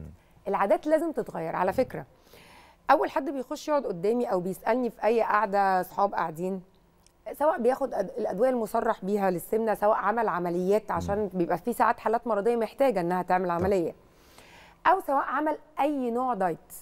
بقول لهم كده لو ما تعلمناش عادات جديدة هو اللي أنا عملته سواء دواء أو سواء دايت أو سواء عملية ما هو إلا وسيلة لتسريع عملية الخسية إن أنا أخس أسرع. لو ما طلعتش من القصة دي بتغيير عادات أنا هتخن تاني. فهي الفكرة إن إحنا نمط حياتنا الغذائي مش مظبوط. عشان كده بقى عندنا أطفال كتير زي ما بتقول عندها مقاومة إنسولين داخلة في سكر عندها مشاكل في عظمها وركبها وهم أطفال. وفي يروحوا يلعبوا رياضة الكباتن يقول لهم القصة دي ليه؟ عشان النمط الغذائي في البيت مش مظبوط. ما هم أطفال يعني أهاليهم اللي بتأكلهم أو بتشتري لهم أو كذا. في المدارس في النوادي إحنا الكبار الحاجات اللي أنا بطلب بشتري من بره باكل بره كتير. فعندنا عادات لازم تتغير منها على فكرة. إزاي نطبخ في البيت؟ م. يعني دي يمكن أنا متولية القصة دي شوية. م. مش حكاية أكل دايت. هو الناس فاكرة أكل دايت إن أنا حشوي طول النهار والأكل الدايت زيوت مكلف أو جدا. أو أي حاجة. بالظبط. إحنا إزاي بنطبخ الأكل العادي وبصورة اقتصادية على فكرة. وممكن وبالحاجات اللي في البيت.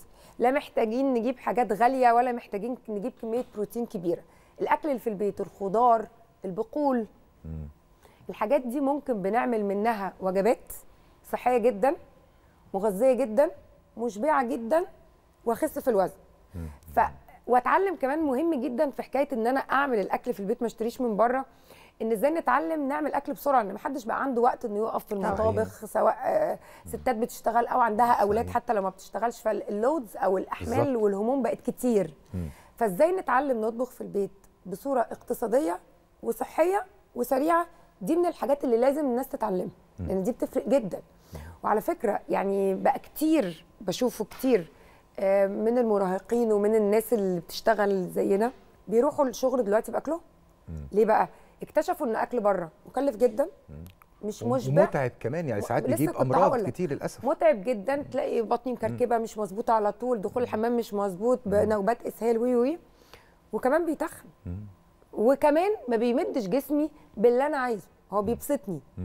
وعلى فكرة مش معنى الكلام اللي أنا بقوله إن الناس هتتحرم مش هاكل مرة حتة بسبوسة حلوة مش هاكل مرة ساندوتش حلو. هو أنا هاكله. بس لازم نتعلم على جسمي أنا على طاقتي أنا على مجهودي أنا. هاكله كم مرة بكمية قد إيه؟ وهبقى واكل قبله إيه وبعده إيه؟ وهاكل معاه إيه؟ بس كده. فالموضوع دقيقة قوي منه. قبله إيه وبعده إيه هقول لك هقول لك ليه. علشان أنا ممكن آخد ساندوتش مثلا برجر ولا حاجة وهاخد معاه جنبه سلطة مش هاخد معاه جنبه بطاطس محمرة. كلت البطاطس المحمرة هاكل جنبها السلطة مش هاكل جنبها. يعني نوزن علشان الموضوع ما يخرجش يعني هي الفكرة بس اللي عايزة أوصلها للناس عشان دي مهمة جدا جدا. مش وأنا مش بعمل كده. ولا أنا مفيش حد بيعمل كده خالص.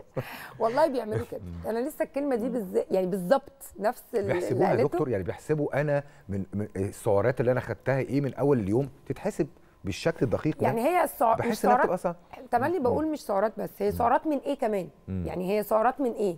ما أنا ممكن آخد مثلا 100 سعر من شوكولاتاية و100 سعر من تفاحية والاثنين ادوني 100 سعر بس أنا خدت جسمي استفاد آه بإيه؟ إيه الفايدة الأكتر؟ فإحنا عايزين نعلم الناس إن هي وزننا مهم لأنه بيجيب أمراض ما بيكون زيادة. إحنا بنسمي السمنة مرض الأمراض. دي قصة القصة التجميليه قصة بتبقى على دي. بس أنا مش عايزة أعلم الناس كده. أنا عايزة أعلمهم إن صحتي في الأكل اللي باكله. يعني الأكل اللي باكله بيفرق في صحتي بيفرق في أمراضي بيفرق في علاج أمراضي بيفرق في طاقتي بيفرق في mood ي. يعني even دلوقتي ال mood بيتكلموا كله والتركيز الولاد وي وي الأكل يعني ده وإحنا صغيرين كانوا لنا إيه؟ أيام الامتحانات كله سمك كتير. صحيح. فاكرين؟ عشان الذاكرة وال ليه بقى؟ عشان اوميجا 3 ده نوع من أنواع الدهون الصحية اللي موجود في الأسماك مثلا. موجود في حبوب بذور الشيا وبذور الكتان دلوقتي فموجود في حاجات نباتية تانية. فهي اللعبة جسمي هيستفيد إيه من الأكل؟ لو أنا فكرت كده مش هزيد في الوزن لأن أنا تملي بقول أكل البيت ما بيخوفنيش في زيادة الوزن. أنا بيخوفني الأكل بره. والحاجات اللي محطوطة في البيت اللي إحنا بنشتريها من بره حاجة الكشك يعني. من. الأكياس بقى اللي هي الحلويات والحاجات دي. آه. برافو عليك. دي اللي بتتخن ما بيجيلكش حد تخن مهما كل في الظهر. كل قد إيه؟ وطبعا مواعيد الأكل إن أنا برضو آكل الوجبة الأساسية بالليل ما هو برضو الهرمونات ربنا خلقنا بالليل للنوم والنهار للحركة فالحرق أكيد مشكلة بالنهار كبيرة أحسن. جدا الأكل قبل النوم على طول طبعاً. دي مشكلة من المشكلات اللي إحنا. بنعاني آه يعني إنك تاكل لازم تبقى في وقت قد إيه الوقت يا دكتور مروة قبل آخر وجبة وبدايه يعني المفروض مش أقل من ساعتين ثلاثة في ناس بتقول أربعة بس زي ما بقول لك لما كنا في المؤتمر كان بره مصر ده أكبر مؤتمر سمنة بيحصل في العالم. كنا بنتكلم على الصيام المتقطع كان بيقول لك ال early eaters يعني أنا ممكن عندي 8 ساعات في الصيام المتقطع آكل فيه ممكن أعملهم بالليل. ممكن أعملهم بالنهار. نتيجة بالنهار للجسم والصحة الجسم بيستفيد أكتر من ساعات الصيام بالليل لأن ده الطبيعة اللي ربنا خلقه.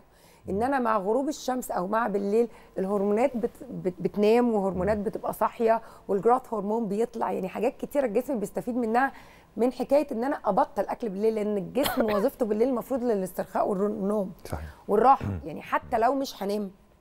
بس مش المفروض إن أبقى مشغل جسمي زي وأنا بالنهار. هي دي الفكرة.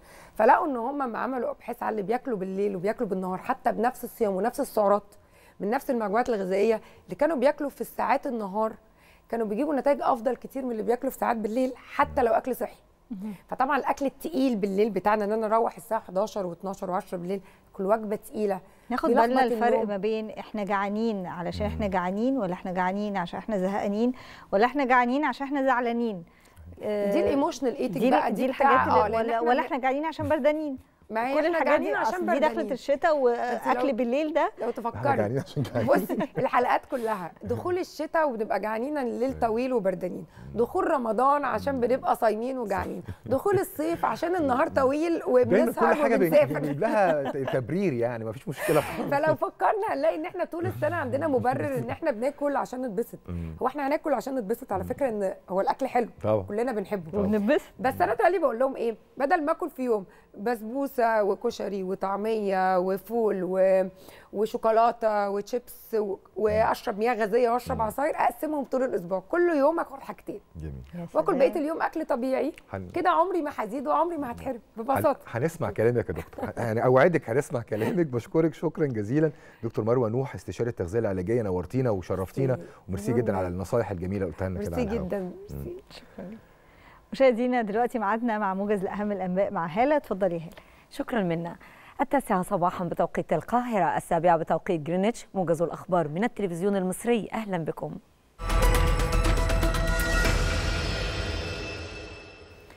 أعلنت وزارة الصحة الفلسطينية استشهاد ستة فلسطينيين في قصف قوات الاحتلال بطائرة مسيرة مخيم نور شمس بمدينة طول كرم بالضفة الغربية. كانت قوات الاحتلال قد اقتحمت مخيم نور شمس لليوم الثاني على التوالي بقوات كبيرة يرافقها جرافات. وفي قلقيلية اعتقلت قوات الاحتلال عددا من الأشخاص خلال مداهمة عدد من المنازل بقرية كفر قدوم. وفي محافظتي رام الله والبيرة اقتحمت قوات الاحتلال عدة قرى وبلدات وأطلقت الرصاص بكثافة خلال الاقتحام. تواصلت الاشتباكات العنيفة بين الفصائل الفلسطينية وقوات الاحتلال بقطاع غزة وأوضحت مصادر فلسطينية أن الاشتباكات وقعت في أحياء النفق والتفاح والدرج بمدينة غزة مشيرة إلى اشتداد وتيرة الاشتباكات في المناطق الشرقية لخان يونس. من جانبه أعلن جيش الاحتلال الإسرائيلي مقتل ضابط وجنديين خلال المعارك البرية مع المقاومة الفلسطينية شمال قطاع غزة مما يرفع قتلاه إلى 164 منذ بدء عمليته البرية في غزة. استشهد 26 فلسطينيا جراء قصف الاحتلال الإسرائيلي منازل في خان يونس جنوب قطاع غزة. كما استهدفت طائرات الاحتلال بشكل كثيف مخيم جباليا شمال القطاع مما أسفر عن استشهاد وإصابة عدد من الفلسطينيين. كما استشهد خمسة فلسطينيين وأصيب آخرون في غارات إسرائيلية على منزلين في مدينة رفح جنوب قطاع غزة. أعلنت وزارة الدفاع الأمريكية البنتاغون أن القوات الأمريكية أسقطت أكثر من عشر طائرات مسيرة وصواريخ فوق البحر الأحمر. وأوضح البنتاغون في بيان له أنه لم تحدث أضرار للسفن في المنطقة ولم يتم الإبلاغ عن وقوع إصابات. Uh, they are they are attacking the economic well-being and prosperity. أعربت فرنسا عن قلقها العميق من إعلان الاحتلال تكثيف عملياته في قطاع غزة وإطالة أمد الحرب ودعت الخارجية الفرنسية مجددا إلى هدنة فورية تؤدي إلى وقف لإطلاق النار معربة عن أسف باريس للقصف الممنهج الذي أدى إلى سقوط عدد كبير من الضحايا المدنيين في الأيام الأخيرة كما طالبت الخارجية الفرنسية إسرائيل بتسهيل إيصال المساعدات إلى جميع أنحاء قطاع غزة واتخاذ إجراءات عاجلة لضمان وصول إنساني كامل وآمن وبدون عوائق.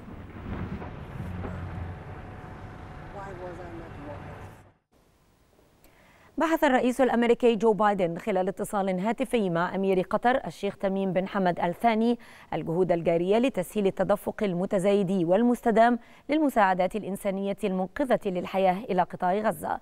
كما بحث الرئيسان الجهود العاجلة لضمان إطلاق سراح جميع المحتجزين لدى حركة حماس بما في ذلك المواطنون الأمريكيون واستعرضا جهود الوساطة المشتركة للتهدئة وصولا إلى وقف دائم لإطلاق النار. التقى وزير الشؤون الاستراتيجية الإسرائيلي رون ديرمر بوزير الخارجية الأمريكي أنتوني بلينكن ومستشار الأمن القومي جيك سوليفان. بحث الاجتماع الجهود المبذولة لإعادة المحتجزين المتبقيين لدى الفصائل الفلسطينية بقطاع غزة والانتقال إلى مرحلة مختلفة من التصعيد الجاري في القطاع فضلا عن خطط سلطات الاحتلال عقب انتهاء العملية في غزة. ورياضيا فاز الاتحاد السكندري على ضيفه فاركو بثلاثة أهداف مقابل هدف في المباراة التي جمعتهما على استاد الإسكندرية ضمن فعاليات الجولة العاشرة لمسابقة الدوري الممتاز. وبهذه النتيجة يرتفع رصيد الاتحاد السكندري إلى 15 نقطة ويرتقي للمركز الرابع بجدول الترتيب بينما تجمد رصيد فاركو عند خمس نقاط في المركز الأخير للمسابقة.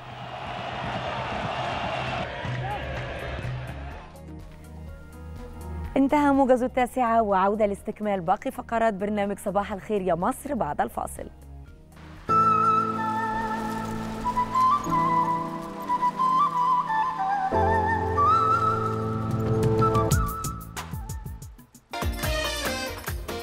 بنجدد صباحنا على حضراتكم مرة تانية وصباح الخير يا مصر. الحقيقة إحنا علينا مهمة كبيرة جدا ومسؤولية كبيرة كل أم وكل أب في تنمية مهارات أطفالهم. من سن سنة لخمس سنين بنقعد مع أطفالنا بنلعب معاهم بنقضي معاهم وقت لطيف لكن مهم جدا إن إحنا نعرف إن اللعب ده بيشكل شخصيتهم لما يكبروا. مهم جدا نختار إزاي نلعب معاهم. اللعب ثقافة وتعليم وحياة. اللعبة اللي إحنا ممكن نلعبها مع طفل عنده 3 4 سنين دي ممكن تأثر في حياته بعد كده. مهم جدا نعرف إزاي نتعامل مع أطفالنا ونختار الألعاب معاهم ونشتغل معاهم في السن ده منا من سنة لخمس سنين. أكيد عشان كده في ناس كتير بتبقى عايزة تسأل. يا ترى في أنشطة معينة لازم نعملها مع أطفالنا عشان مهاراتهم تنمو بسرعة؟ هل في ألعاب يمكن تساعدنا إنها تنمي قدرات الطفل؟ الأم بتبقى حيرانة والأب كمان ايا كان الموجود مع الطفل مين في البيت بيبقى حيران. يسيبه على التليفون للابلكيشنز أو للتطبيقات المختلفة اللي معتقدين إنها ممكن تكون بتساعده في المهارات اللغويه أو يكتشف حاجات جديدة ولا نقعد معاه ونخليه يلعب لأنه برضه طول ما هو قاعد في البيت بشكل أو بآخر دايما بيبقى زهقان مهما عملنا نشاط. خلينا نعرف بقى إيه اللي ممكن نعمله من ضيفتنا في الاستوديو دعاء كرسون مدربة التربية الإيجابية للوالدين. صباح الفل عليكي أهلا وسهلا أهلا بيكي أهلا بيكي. فعلا أنا كأم وكأب موجودة في البيت مطالبة طول الوقت بتسلية الطفل وتعليمه بشكل إيجابي من سن سنة لسن خمس سنوات. هو إحنا مش لازم طبعا طول الوقت نبقى مطالبين إن أنا بقى قاعدة جنب الولاد بلعب معاهم 24 ساعة في وسط الضغوطات بس ولادنا محتاجين مننا شوية إن إحنا في في وسط زي ما انت قلتي التكنولوجيا والموبايل والتابلت إن إحنا نجذبهم بألعاب شوية. بس في هنا نقطة مهمة قوي إن الولاد أصلا سبحان الله من أول ما بيتولدوا من عمر يوم لحد سنتين في حاجة مهمة جدا جزء في المخ حتى علماء المخ والأعصاب بيسموا البيبي أول ما بيتولد جنين خارجي. ليه؟ لأن هو زي البيبي بس هو لسه في حاجة ما اكتملتش وهي الجزء الأمامي من المخ. الجزء ده عشان يتطور محتاج إن أنا طول الوقت أبقى في تفاعل مع الطفل وبوفر له حاجات يلمسها بإيده يشوفها بعينه آه يكون فيها تفاعل على عكس الموبايل والتلفزيون الطفل بيبقى قاعد عامل كده. بس. لكن هو ما بيتفاعلش. أنا فما عايزة أقف عند كلمة يلمسها بإيده دي التربية الإيجابية اللي بتخلي كل الأطفال قاعدة عمالة تلعب في الدقيق ومش عارفة يعملوا إيه بحاجات وتلاقي البيت بعد شوية صغيرة علشان التربية الإيجابية. البيت الموضوع الموضوع ده برضو خلينا نقول ده ده لازم يحصل عشان يبقى فيه طيب. تربية إيجابية ويبقى فيه مهارات بيكتسبها الأطفال باللمس ولا ينفع نعمل حاجة. تبقى بتهون على الأم وتعرف هي كمان. تتعايش مع. هو هو خلينا طبعا نفرق ما بين التربية الإيجابية كمنهج تربوي ومنهج المونتسوري كمنهج لتنمية المهارات. ففي التربية الإيجابية بنقول للطفل ادوا للطفل مساحة. ومش بس التربية الإيجابية أنا كمان اخصائيه تعديل السلوك من جامعة عين شمس اللي هو المنهج اللي بندرسه من 100 سنة فيه نفس المبدأ. فهو الموضوع ده موجود في المدارس التربوية من زمان. بس الفكرة في إن أنا بوفر النشاط إزاي؟ وفين؟ وإمتى؟ ده مهم جدا لأن الطفل أنا بوفر له النشاط هو حقه بس أنا لازم أعلمه حدودك. مش ان أنا همسك الدقيق والالوان ويلا بينا في البيت في كل مكان وماما الدنيا تتبهدل لا هو كمان من حقه يلعب ومن حقه علينا ان إحنا نعلمه ان في ليميتس في حدود. فيبتدي الطفل يكبر يروح الحضانة عارف ان في حدود في الفصل حدود في التعامل مع أصحابه وده بيبتدي من سن صغير قوي وده سؤال مهم. أمهات كتير تيجي تقول لي إمتى أبتدي أربي ابني؟ إمتى أبتدي أوجهه وأقول له كده صح؟ كده ما ينفعش. إحنا عندنا قاعدة إن الطفل أول سبع سنوات الطبيعي إنه يغلط. بس مش الطبيعي إن أنا أسكت. فهو يغلط؟ أوجهه. بالظبط. وأنا لازم اوجه فأنا عندي التوقع إن أنا مهما أعمل هو يفضل يغلط أول سبعة وده حتى في الدين الإسلامي إن إحنا أول سبعة دي, دي مرحلة التوجيه وبعدين من بعد السبعة مرحلة التأديب. لأن أنا خلاص زرعت فيه القواعد. وبرده عندنا ده في نفس المدرسة السلوكية القديمة من 100 سنة. وبرده نفس المبدأ اللي اتكلمنا عليه في علماء المخ والأعصاب إن الطفل أول سبع سنوات بتكون المخ بتاعه لسه ما اكتملش مراحل تطور. فأنا لازم أوفر له بس أحط حدود وهنا بقى نقطة أحط حدود إزاي؟ فحضرتك المثال اللي انت ذكرتيه وفرت نشاط والطفل اساء استخدامه مسك الدقيق وقعه كله على الأرض. هعمل إيه؟ بمنتهى الهدوء. أنا لازم أوفر باسكت كبير أو سلة بالظبط. كبيرة يلعب فيها. مش هديله مساحة صغيرة لأن هم أصلا بتبقى حركة إيديهم مش متزنة. فأنا لو حط له طبق صغير هياخد الدقيق من الطبق الصغير ويوقعه على الأرض لأنه عايز يعمل كده.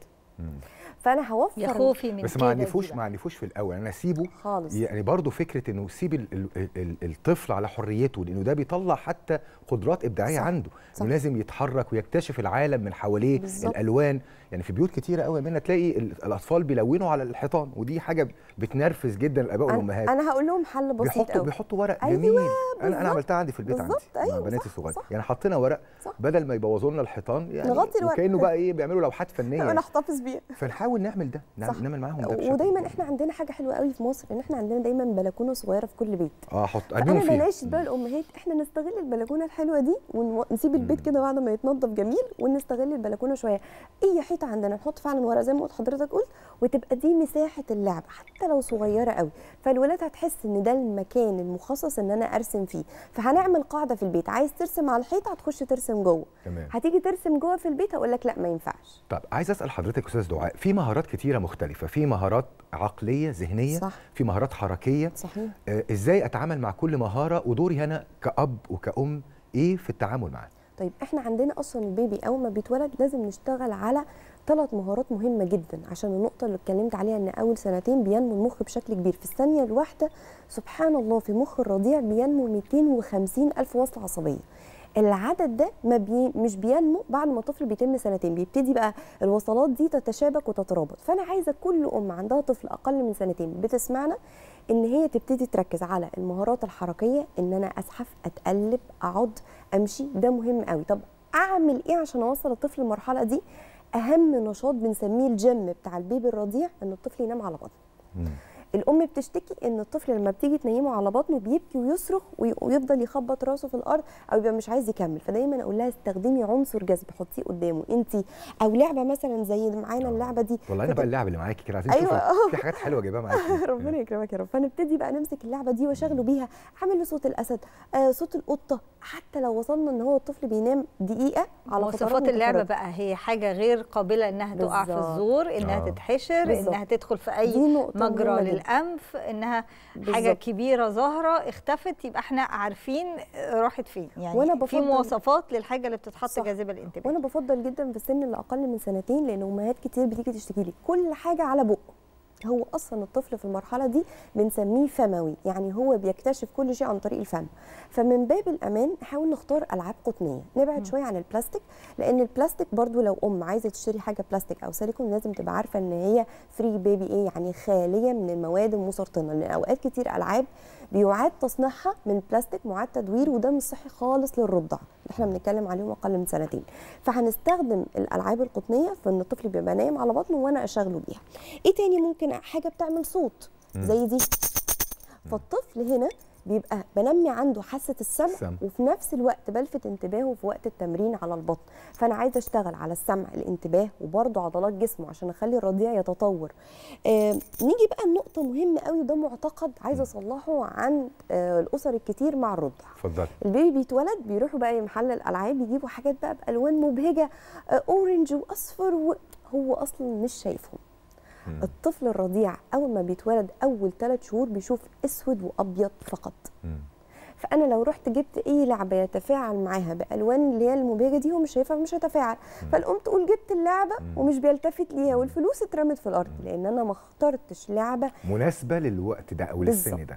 فإحنا عايزين نحط قاعدة إنه وابتدت محلات الألعاب هنا في مصر توفر لنا ألعاب باللون الأبيض والأسود للرضع. بتبقى آه، قطن وفيها مثلا بيعملوا الحيوانات فيها أبيض وأسود بالنقاط آه، خطوط بحيث تلفت آه، نظر انتباه الطفل. بنبتدي من ثلاث شهور لست شهور يبتدي الطفل يشوف الألوان بالتدريج. أحمر والأزرق والأخضر والأصفر. جميل. باقي الألوان من ست شهور. فأنا لو هختار أي لعبة لطفلي أول ثلاث شهور هيبقى أسود وأبيض بعد كده هدخل أحمر زي مثلا ال card ده. دي كروت مخصصة للرضع بتبقى معمولة بالألوان اللي الأطفال بتشوفها. فأنا لو حطيتها قدام الطفل طبيعي إنه يتفاعل معاها لأنها باللون اللي هو شايفه. ويعني ال- التباين أو ال contrast اللي موجود بين اللونين بي بيصور له أو بيساعده إنه يشوف الأبعاد بتاعة الرسمة أو الصورة. وبرده لازم نراعي المسافة. الرضيع أقل من 3 شهور محتاجين إن إحنا ما نزيدش نبعد المسافة عن 30 سم لأن هو ما يقدرش يشوف على بعد كبير. إحنا بنتخيل إن الرضيع أول ما يتولد بتبقى الرؤية عنده كاملة بس الرؤية بتتطور مع الرضيع أول 3 شهور خطوة بخطوة. فمهم جدا عشان أساعده على كمان تطور حاسة السمع والبصر بشكل قوي إن أنا أوفر له حاجات كده دي بنسميها التحفيز البصري للرضيع فيبقى حلو. الانتباه عنده عالي الوعي آه، طفل يبقى منتبه حتى كمان المعلقات ساعات برضو عاملين في المحلات دلوقتي معلقات بالألوان دي آه. أهي آه،. أحمر وأبيض وأسود بنعلقها للرضيع كده فوق بخيط عند أي أم وتعلقها له. الطفل بيحاول يرفع إيده عشان يشدها. ويعمل يس- يستخدم الحركة يعني. بالظبط. فبيحرك عضلات إيده ادينا قوينا عضلات إيده قوينا الانتباه والبصر. جميل. طب كبرنا يا أستاذة دعاء مع البيبي شوية. ست يعني آه، نمينا المهارات السمعية والبصرية والحركية. والحركية زي ما حضرتك قلتي وبدأ بقى نخش في مرحلة ال- ال- العقل. الانتباه. أو الانتباه أو ال- التنمية الذهنية ودي صحيح. مهمة جدا صحيح. الاطفال لأنه دي بتشكل حتى آه، زي ما إحنا قلنا في في البداية. شخصيته بعد كده صحيح. الناس بت بت بتستسهل فاكرة إن دي مجرد لعب وتسلية وإن أنا بقضي وقت مع طفلي لأ ده أنا صحيح. كل حاجة بعملها معاه هي مسؤولة عن تكوين شخصيته لما يكبر صحيح. إزاي بقى أشتغل وأتعامل مع. المهارات الذهنية والعقلية مع طفلي إحنا أول حاجة نقطة كمان محتاجين نصححها في الجزء الذهنية إن الطفل الرضيع بيكون فهمنا ومستوعبنا من أول الولاده وأكتر حاجة بيكون مستوعبها وفاهمها هو تعلقه بالأم لأن هو عارف الأم من قبل ما يتولد. عارف ريحتها نبضات قلبها آه، انفعالاتها. فالطفل سبحان الله بيتولد على فطرة إن أنا عارف مين ماما ومنتبه ليها فاي تفاعل ما بين الأم والطفل بيسري جدا المهارات الذهنية عنده الوعي. فأنا عايزة كل الأمهات لو عندك رضيع أقل من ستة كلميه. هتقولي ما هو مش فاهمني. اتكلم معاه. بالظبط. هي هتقولي ما هو مش فاهم. أيوه ما هو دي نقطة حلوة. هو مش فاهم بس أنا محتاجة ادخل له كلمات عشان يسمع. ولما بحس يسمع بإيقاع الكلام. بالظبط. الأصوات. مم. فيبتدي هو لاحقا من عمر ست شهور تبتدي مرحلة المناغاه يعني إيه؟ نلاقي الطفل يقعد يقول ده ده ده ده ب ت. دي مقاطع أصوات. جابها منين؟ من كتر الكلام اللي سمعه أول ست شهور. ده يساعدنا في إيه؟ إن الطفل يبتدي يتكلم. وحاليا منتشر جدا موضوع تأخر الكلام. صحيح. جاي منين؟ إن إحنا لسه مش عندنا الوعي فكرة إن الأطفال وهم صغيرين أول ست شهور بيسمعونا مركزين معانا محتاجين نكلمهم. بالإضافة إن إحنا بنشغل التلفزيون كتير عشان نسكته فطبعا ده بيلغي جزئية التفاعل اللي اتكلمنا عليها في الأول. فالطفل مش بيبقى فيه فعل ورد فعل هو متلقي فقط. فما بيحصلش التطور الذهني والانتباه. فأول قاعدة وأبسط قاعدة بدون ما أشتري ألعاب بدون ما أجيب أي حاجة تكلفني نتكلم مع اولادنا في المطبخ. أنا بعمل كذا كذا. آه قاعدين مع بعض في أوضة الليفنج أنا بعمل كذا كذا. آه قدامي أدوات الطعام الحاجات المحيطة بينا في البيت الأساس الملابس. أعرفه على أسمائها. كل دي بنسميها سلسلة المعارف الضمنية. اللي لازم يكون يا فندم؟ الضمنية. الضمنية. دي حاجة من ضمن السلاسل الأساسية اللي الطفل يكون أقل من ثلاث سنوات عارفها في اللغة.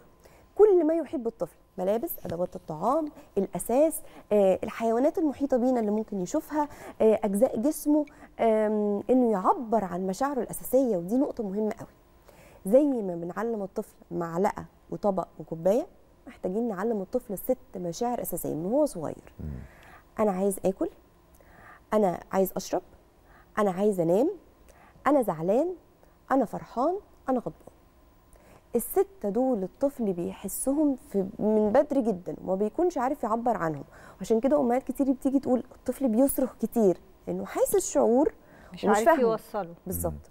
طب هتقولي يعني أنا لو هو اللي مش فاهمه ولا أنا اللي مش فاهماه؟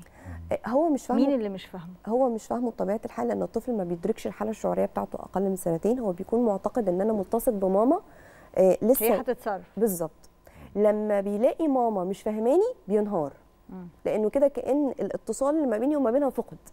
فأنا عشان أسهل على الأم هي برضو مرهقة وطول الوقت ما بين ده وده وده وخاصة لو أم عندها أكتر من طفل هي مش تبقى فايقة. فأنا عايزاها تدخل اللغة دي.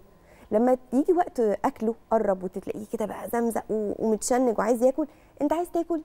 أنت جعان؟ مع التكرار. ام تقولي أنا لو قلت ست شهور على سنة مثلا يقول لي أنا عايز أكل أقول لا لا مش هيقول على سنة بس هيقول لك على سنة ونص هيقول لك على سنتين. كل ما ابتدينا بدري كل ما الطفل هيتكلم بدري. جميل. كل ما ابتديت متأخر كل ما الطفل هيتكلم متأخر. دي قاعدة عندنا. فأنا عايزين نصحح مفهوم أنا هتكلم مع الطفل ومش هنتظر هو فاهم ولا مش فاهم. أنا عمالة أدخل حصيلة وأخزن الكلمات وأربطها بالمواقف اليومية البسيطة. ده هيساعدنا جدا جدا في الوعي الإدراك التواصل الكلام آه، قلة العصبية والغضب بشكل أساسي في البيت. أنا بدخل الكلمات بس ولا بدخل آه، روتين وسلوكيات ممكن تكون بتدخل وقت الكلمات.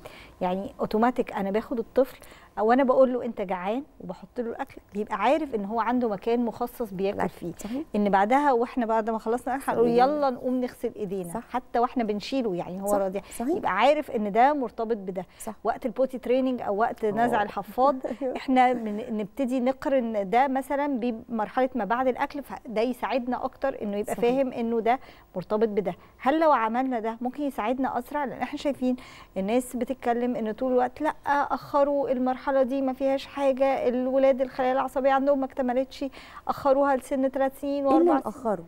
التريننج قصدك خلع الحفاضة آه، نفسها؟ آه. خلع الحفاضة دي فيها جزء طبي وأساسي آه، دكاترة المسالك البولية هي اللي بتحدده. وهي اكتمال عضلات المثانة. إمتى المثانة تبتدي مش كل ما الطفل يشرب جزء مية تروح تعمله. لأن مش الطبيعي إن الطفل يخش كل ربع ساعة التويلت. ما هو هيتهلك. فأطباء المثانه قالوا إن الأطفال عادة عضلات المسالك البولية وعضلات الحوض بتبتدي تكتمل من 18 شهر إلى 3 سنوات عند البنات والذكور. إمتى بقى دي؟ دي حاجة بتاعت كل طفل لأن كل طفل ليه جدول ده بقى يخضع. للروتين ده ممكن فرق. يكون الروتين محفز أو أه، مساعد في مش بس في خلال الحفاظ في في السلوك بقى إنه مرتبط بإن أكلنا بعدها بنغسل إيدينا بعدها يعني الترتيب اللي الأم بتبقى عايزاه بعد شوية إن الطفل يعمله اوتوماتيك لازم تكون هي اللي عملت الروتين ده؟ في نقطتين مهمين بس هرد عليهم في صحيح لانهم مهمين قوي. في خلع الحفاضة مهم قوي إن هي تحفزه من أول سنة. حفزي الطفل وابتدي عوديه وعرفيه ال toilet عشان ما يخافش منه بس ما اخلعش الحفاضة نهائي غير لما ألاحظ إن الطفل ابتدى كل ساعتين خلال النهار أفتح الحفاضة ألاقي الحفاضة جافة. معناه إن المثانه بتقول لي أنا العضلات بتاعتي ابتدت تتحكم وابتديت أحبس شوية التويلت مش كل شوية بعمله. فهنا دي إشارة جسدية إن أنا أبتدي. الروتين الروتين بالنسبة للطفل بشكل عام في أي حاجة في يومه عاملة زي الساعة. صحيح. أنا ببص الساعة 3 عندي اجتماع 4 رايحة البيت الطفل بالنسبة له ترتيب الأحداث وتتابعها بشكل معين هي الساعة بتاعتي. فبيبتدي الطفل بعد 21 يوم من تثبيت حدث معين في نفس اليوم طفل أصلا لو ما حصلوش أقل من ثلاثة يزعل ويتعصب. كل الأمهات تلاحظ لو الطفل سافر بيه لبيت جديد أو لمكان جديد ده كان مقريف ده كان زعلان ليه؟ تغير البيت والعادات اللي هو مرتبط بيها. فاحنا نستغل الروتين من بدري في إن أنا اعود الطفل إنه يقعد على الحفاضة ويغسل إيده ويتعود كل حاجة بس في نفس الوقت نراعي في لأن جزئية الحفاضة دي مهمة. ده برضو سبب دخول الأطفال في عند شديد سلوكي مع الأم لما بنضغط عليهم في التدريب على خلع الحفاضة وهم مش مستعدين جسديا. تمام. الكلام اللي قالته منا وحضرتك كلام جميل جدا وبياكد لنا الدور العظيم اللي بتقوم بيه الأم في المرحلة أيوة الحرجة دي. آه انت عظيمة. كلكم يعني بجد يعني حاجة عظيمة. دور مهم جدا في السن دي الدقيقة دي. سؤال لحضرتك بقى المطلوب من الأب إيه؟ لأنه في الوقت ده أباء كتير يقول لك يعني الأطفال بيبقى خليهم مع مامتهم بيزنوا كتير. المسائل البسيطة دي الأم ممكن تتعامل أكتر. هل الأب مهم يبقى ليه دور في التعامل والألعاب والاقتراب من الطفل في السن الصغيره اللي إحنا بنتكلم عنها.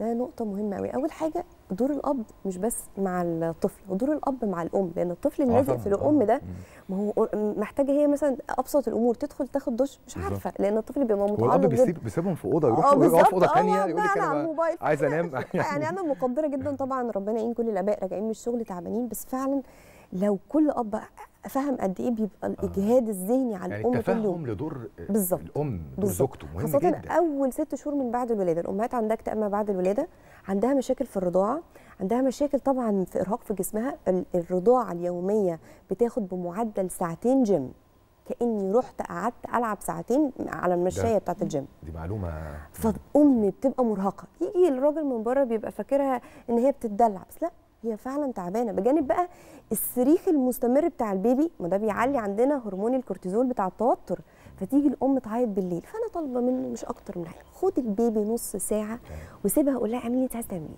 عايزة تقعد يساعدها. يعني آه يعني يشيل عنها شوية. بالظبط. ده كده في أول سنة. هتفرق جدا جدا وهتخلي الأم أحسن مع البيبي عندها طاقة تديها له وأحسن في العلاقة الأسرية اللي ما بينهم لأنه أنا ما خلفتش البيبي ده لوحدي. أنا محتاجة أحس بالترابط الأسري الأسرة الجديدة. برافو عليك. أنت ساندني وأنا سانداك. أنا مسؤول عنه وحضر... وأنت مسؤول عنه بالظبط. وطبعا مع مراعاة إن هو طول اليوم في الشغل أنا مش بقول لأ. بالإضافة برضو إن إحنا بقينا في ظروف اقتصادية في أمهات كمان بتشتغل اونلاين في البيت كتير. فبتبقى محتاجة من زوج يتفهم إن هي برضو بتشتغل بجانب دور الأمومة. فقد إيه مرهقه بعد كده بقى نصحح مفهوم. أصلا الأطفال عندهم حاجة اسمها سلوك التعلق بالأب من 18 شهر لأربع سنوات. خاصة مع الزوج بنتكلم على سنة ونص كده. آه. يبتدي بابا يروح الشغل ودي بتيجي كتير بيصرخ. ليه؟ انت رايح فين؟ أنا عايزك أنا قلقان. بالظبط. فبابا هنا يعمل إيه؟ يثبت وقت بعد ما يرجع من الشغل 20 دقيقة مش أكتر من كده. يلعب مع طفله لعبة مميزة. لأن الطفل في السن ده بيبقى مرتبط بماما هي اللي تعمل له كل حاجة. فيجي الأب يحاول يتدخل خليني طيب أنا يا ستي هنيمه. الطفل ينهار يقول لها بصي هو اللي رافض. فإحنا نعمل إيه؟ إحنا عايزينك يا بابا تثبت لعبة مميزة ماما ما بتلعبهاش مع الطفل تبقى حاجة كده ما بينك وما بين ولادك. انت اللي هتلعبها. ده جدا بيكون العلاقة ما بين الأب وما بين الولاد. طب لو أب وعنده بنت البنت بتاخد ثقتها بالنفس من نظره الأب. طب. طب لو أب وعنده ولد الولد بيتعلم من التصرفات الأب الذكورة. فاحنا محتاجين جدا دور الأب ده يرجع تاني يكون في البيت إن الولد يشوف الولد يشوف بيساعد ماما إزاي بيجي بينزل السوبر ماركت إزاي. من سن صغير آخد الولد معايا وأعلمه أنا بشتري إيه وبكلم الناس إزاي. لأن الولاد برضو ودي حاجة بقت منتشرة. لأن الأم بقت هي طول الوقت مع الولاد والولاد طول الوقت مع الأم. في أمهات كتير بقت تيجي تقول لي الولاد لما بيشوفوا رجاله في الشارع بيخافوا. ليه؟ لأنه طول الوقت أنا ما بختلطش أصلا برجال يا مع ماما يا مع تيتا يا مع خالته. طب فين دور الأب؟ فإحنا محتاجين طول الوقت نعود الولاد من سن صغير على التعامل مع الرجال. بالإضافة الأطفال الخجولة بتبقى محتاجة شوية زقة من بابا. مش كل حاجة على ماما. دايما بقى يجي الأم ما طلعتوش راجل. لا بنتك متدلعة قوي لا. محتاجين من بابا دعم شوية في المهارات الاجتماعية. الأدوار بتكون مجزأة في الأسرة عشان نقدر نبقى أسرة فعلا سعيدة وأسرة فعلا صحية في التعامل مع بالزبط. أولادها. كل الشكر ليكي الأستاذة دعاء كرسون مدربة التربية الإيجابية للوالدين. شكرا جزيلا شكرا. على المعلومات اللي قلتيها لنا. نشكر حضرتك بجد استفدنا جدا من معلوماتك وكلامك النهارده معانا. مشاهدينا لسه مع حضراتكم في صباح الخير يا مصر. نروح لفاصل ونرجع من بعده. خليكم معانا.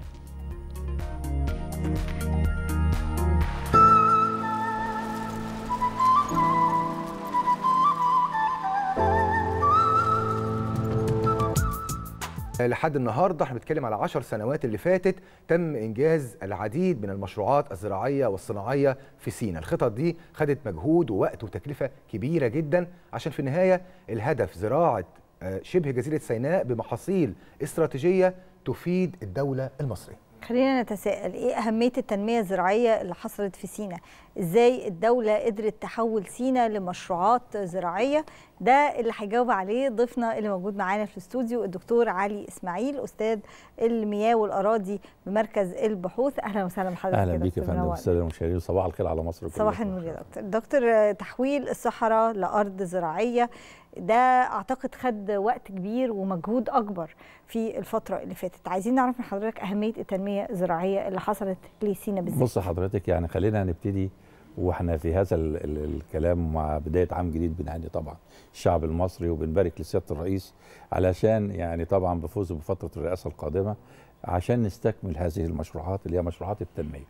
اللي هو حركها يعني مشروع تنمية سينا عايزين نقول إن كانت فكرته سنة 79 عشان نعمل مشروع زراعي في سينا سنة 79 جه الرئيس ده في أيام الرئيس أنور السادات.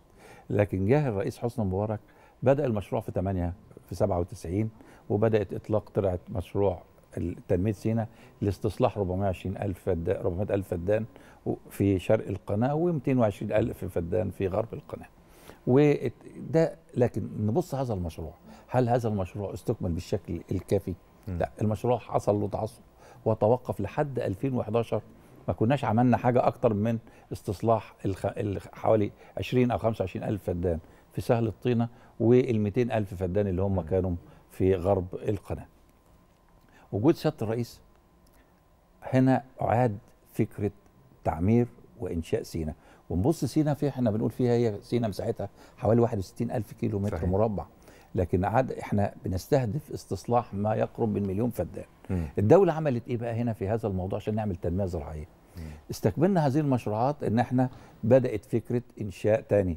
يعني إحنا كنا بنودي سينا مية مخلوطة. فكان عندي سهل الطينة فيها خمسين ألف فدان. عندي منطقة جنوب الأنطرة فيها 75 ألف فدان. وبير الع و يعني عندنا في رابعة فيها حوالي 70 ألف فدان آه بير العبد 81 ألف فدان سرو القوارير المشروع يمكن ترعة السلام صحيح. المفروض أو بنسميها نسميها ترعة الشيخ جابر م. فهذه الترعة طولها حوالي 175 كيلو متر مربع هي وقفت عند كيلو 95 لم يستكمل هذا المشروع. من هنا الدولة المصرية وفي وجود سيادة الرئيس والأهمية الاستراتيجية. أعتقد لما إحنا شفنا هذا الكلام بدأت تتعمل في عندنا.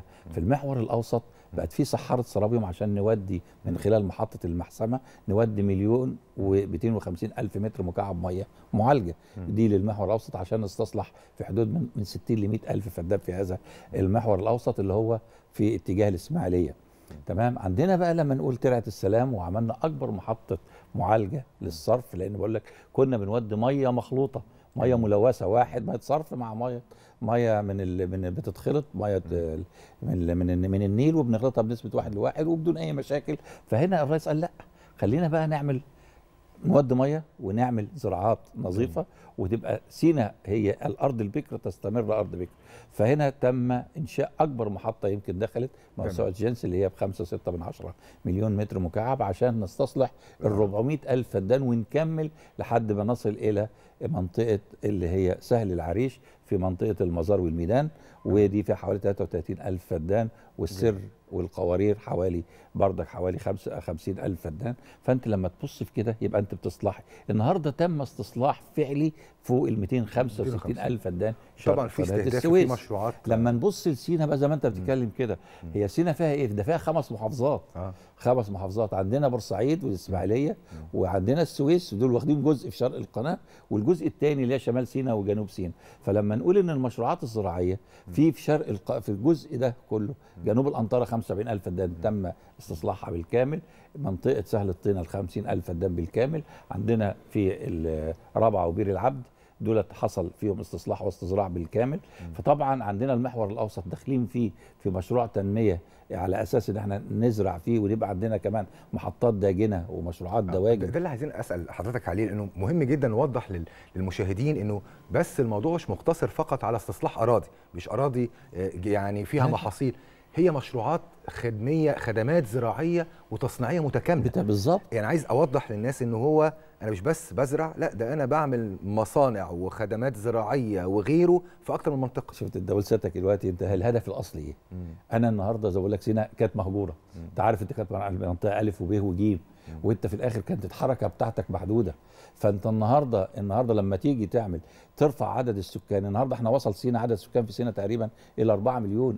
الزراعة هي الوحيدة اللي فيها كثافة كثافة عمالة. من العماله من الأيدي العاملة البشرية مع التصنيع الزراعي بيزود فرص العمل اللي معاها.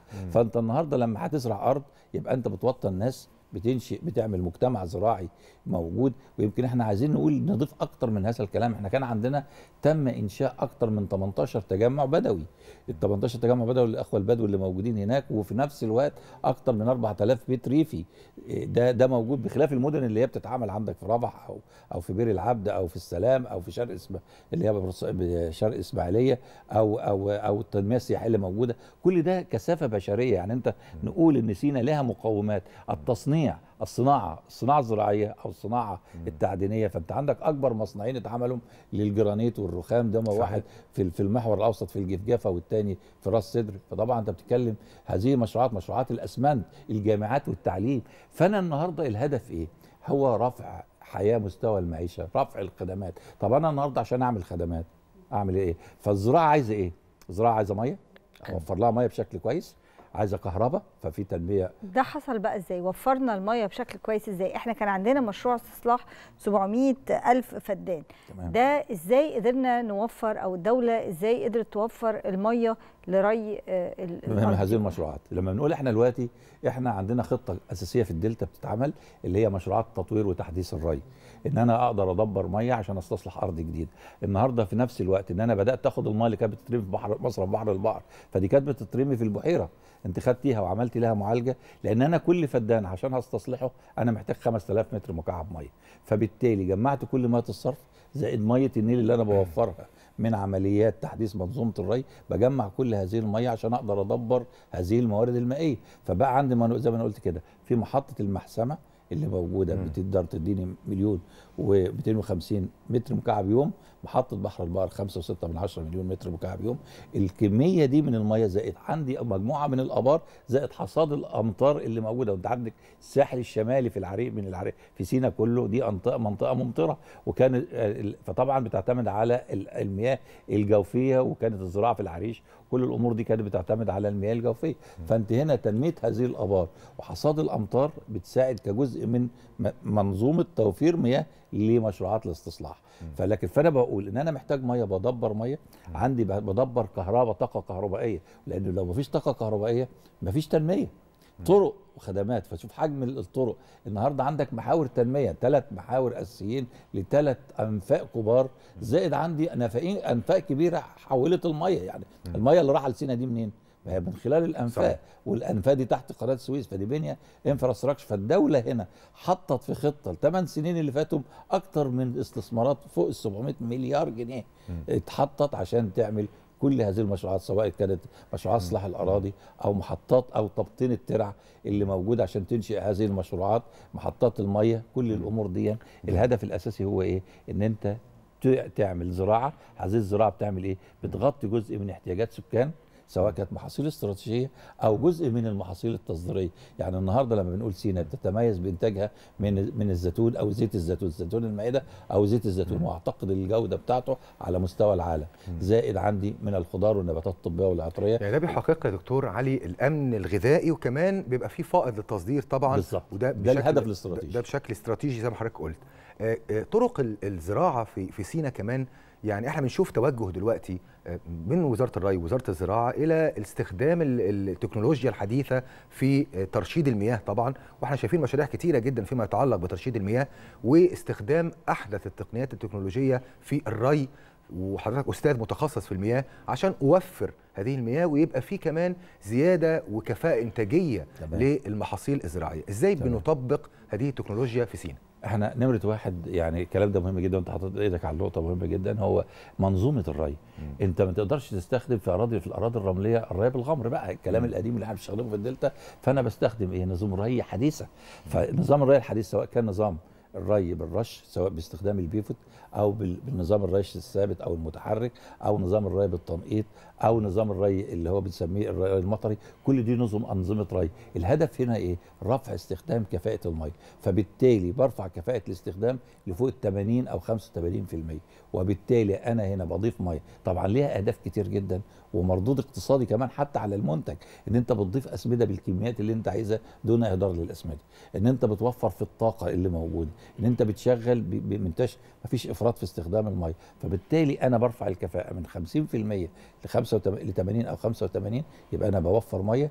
بضيف سماد في نفس الوقت أنا ما بشغلش مساحات أخرى في الب... في ال... في, ال... في بنسميها الأوني والبتون وكل هذا الكلام إن أنا بعمل تأقلم مع التغيرات المناخيه النهارده لما أنا بضيف مية لما يبقى عندي كميات مطر جاية في المناطق دي أنا بقلل استخدامي من الري وبوقف تشغيل الري السطحي العادي لأن في مطر. طب أنا لو في موجات حرارة أو موجات بتاع أنا ببتدي أشغل في التوقيتات اللي أنا عايزها وبالتالي في أقلمة. في, في نفس الوقت إن المحاصيل ما بتتلفش. يمكن حتى يمكن كانوا بناخد الخبرات زمان من أهالي العريش في الزراعات لأن هم خدوا خبرات يعني خبرات اكتسبت في فترات معينة وكانوا بينقلوها للدلتا اللي هي الزراعة على الري بالتنقيط يمكن هم كانوا أول ناس اشتغل اشتغلوا في التنقيط إخواننا وأصحابنا يعني اهالينا في العريش. هم دول كانوا هم الجايد في فترة معينة وبدأوا ينزلوا الدلتا ومنزلوا المنطقة الصحراوية في على طريق اسكندرية الصحراوي وهم كانوا بينقلوا هذه الخبرات. فهنا استخدامنا للتكنولوجي والسمارت اجريكلتشر والزراعة الحديثة. فأنت النهارده بتستخدم الموبايل الموبايل وبتستخدم التكنولوجيا الحديثة في إضافة الميه وتشغيل المزارع. فطبعا أنت النهارده بتشتغل بنظم من حيث انتهى الآخرين. فممنوع الري بالغمر. الحتة الوحيدة اللي فيها ري بالغمر هي منطقة سهل الطينة بحكم إن الأرض طينيه تقيله أراضي فيها ظروف ملوحة فبتعمل عمليات غسيل وبتبتدي تستخدم. لكن جميع الأراضي سواء في الانطره أو في الع... في الانطره أو في شرق الإسماعيلية يمكن. أنا عايز بس يمكن أذكر يمكن لحد 2014 2014 كان عندنا قرية اسمها قرية الأمل. يمكن سيادة الرئيس قال القرية دي من كذا و80 قعدت مهجورة. هو ال ال الوحيد اللي قال لا كده قرية ومشروع استصلاح 5000 فدان سبتوها أكتر من 15 20 سنة ما بيشتغلش المشروع. فأعاد الأمل لهذا المشروع ورجع المشروع وشغله توزع على الشباب الخريجين في قرية الأمل وبتستخدم أحدث تكنولوجي في عمليات الزراعة والري. فطبعا أنت النهارده استخدامك للتكنولوجيا الحديثة ومن حيث انتهى الآخرين ده بيساعدك على إدارة المنظومة الزراعية. وفي نفس الوقت هو بيرفع دخل المزارع لأن أنت بتستخدم كميات مية مع محاصيل وفي تكيف إن أنت بتستخدم الفاكهة بتستخدم الخضار فبتنتجها تحت نظم ري حديثة بتستخدم مستويات منخفضة من التسميد مش هتستعمل إكسس في ال في ال في ال من من الإفراط في عمليات التسميد. فالزراعة الحديثة أو التقنيات العالية في هذا الكلام هو ده توجه في كل الأراضي الجديدة منها سينا أو في أي مشروعات استصلاح أراضي أخرى. طيب إحنا بنتكلم على الأخص على سينا والوضع الموجود بالفعل بالذات للمية. في سينا. بعض الأماكن بتكون فيها الميه حلوة لو بنتكلم على المياه الجوفية بعض الأماكن الأخرى بتكون فيها المياه المالحة. إزاي تم استخدام تكنولوجيا مختلفة لاستخدام المياه المالحة برضو في الري وإزاي تم التعامل معها؟ وبالفعل ده تجربة ونجحت وإحنا شايفين إنها بيتم يعني طبعا لما بنتكلم في إحنا عندنا إحنا يعني التراكيب المحصولية مرتبطة بملوحة مياه الري وملوحة التربة. فأنا لما باجي أعمل سياسة زراعية أبتدي أشوف مستوى ملوحة الميه ومستوى ملوحة التربة وابتدي أشوف إيه المحاصيل المناسبة لهذا الكلام. فالنهاردة عندنا في تقنيات حديثة النهارده بنستخدم النانو يعني كجزء من تحلية المية في في وحدات موجودة بتقدر تعادل ملوحة المية. في نفس الوقت إن أنا بضيف بعض المواد العضوية اللي هي زي الدبال الأحماض الأمينية كل هذا الكلام خلي النباتات تتحمل الاسترس وبالتالي تبتدي تشتغل على هذه المية اللي فيها مستوى ملوحة. أنا عندي زراعات زي الزيتون والنخيل من الزراعات اللي بتتحمل شوية في الملوحة عن المحاصيل الخضر ولا الحاجات دي. فطبعا هنا التركيب المحصولي فأنا النهارده لازم ابتدي أشوف مستوى الملوحة اللي موجودة عندي اربط بيها التركيب المحصولي المية مستواها كويس جدا استخدم معاها كل المحاصيل بلا استثناء. تبتدي تزيد فيها الملوحة بالتدريج ابتدي أشوف التراكيب الملائمة لها إيه. من هنا هو ده الأساس في استخدامي لنوعية الميه اللي موجودة. النهارده فالمعالجة والتكنولوجي وتحلية الميه ويمكن إحنا بنقول هم محطة محطة محطه المعالجة بتاعه بحر البحر بدأت تنزع جزء كبير جدا من الأملاح اللي موجودة زائد وترسب جزء من الأملاح الأخرى في صورة أملاح عضوية أخرى. فبالتالي بترفع من كفاءة ونوعية الميه وبالتالي يبقى هنا في الآخر مفيش أي تأثير أو على على النبات أو دمج على المحصول اللي اللي بيتزرع يعني. آه كمان في تطوير بيحصل في بحيرة البردويل. تطوير مهم تمام جدا. ده. كويس جدا. آه مهم لأنه في كمان مينا آه من البردويل البردويل و... وفطور سينا كمان وحفظ السمك وانتاجه وت... وتغليفه. ده مهم جدا للتنمية هو هو ده هو ده جزء اللي هي إحنا بنقول إن الزراعة فيها يعني هي مثلث. الإنتاج النباتي والإنتاج الحيواني والتصنيع الزراعي. الاستزراع السمكي والإنتاج السمكي ده داخل في المثلث اللي هو بتاع الإنتاج الحيواني صحيح. في ال part ده. إحنا عندنا خلي بالك في سينا مزارع كبيرة جدا. مزارع طبعا شرق بورسعيد ودي فيها أكتر من 5000 يعني ما يقرب من 6000 حوض وأكبر مزرعة اسمها مزرعة الفيروز لإنتاج الأسماك. ودي يعني من الحاجات الحديثة اللي اتعملت. عندنا جزء تاني بنتكلم فيه اللي هو بحيرة البردويل. بحيرة البردويل طبعا كانت كانت مهملة لفترة طويلة. صحيح. حصل تطهير للبحيرة تم آه يعني البواغيز بتاعتها اتفتحت واتطهرت وبدأت يتعمل حتى كمان فيها اللي هي أربع قرى للصيادين.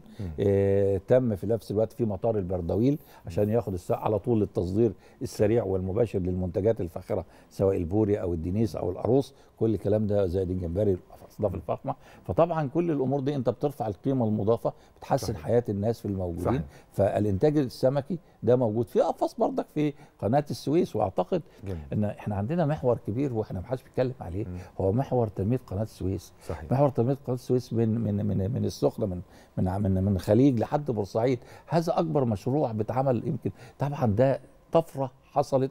هينقل مصر نقلة كبيرة جدا خلال السنين القادمة. وجوه وجوانب كتيرة جدا للتنمية بالزبط. في سينا محتاجين حلقات وحلقات نتكلم عنها في مختلف الجوانب الزراعية والصناعية والتعدينيه والسمكية كمان. بشكرك شكرا جزيلا نورتنا. وشرفتنا طبعا. نورتنا وشرفتنا دكتور علي إسماعيل أستاذ المياه والأراضي بمركز البحوث. صباح الخير صباح الخير عليكم. متشكرين مشاهدينا خلصت حلقتنا. نشوفكم بكرة إن شاء الله في نفس الميعاد. صباح الخير عليكم وصباح الخير يا مصر.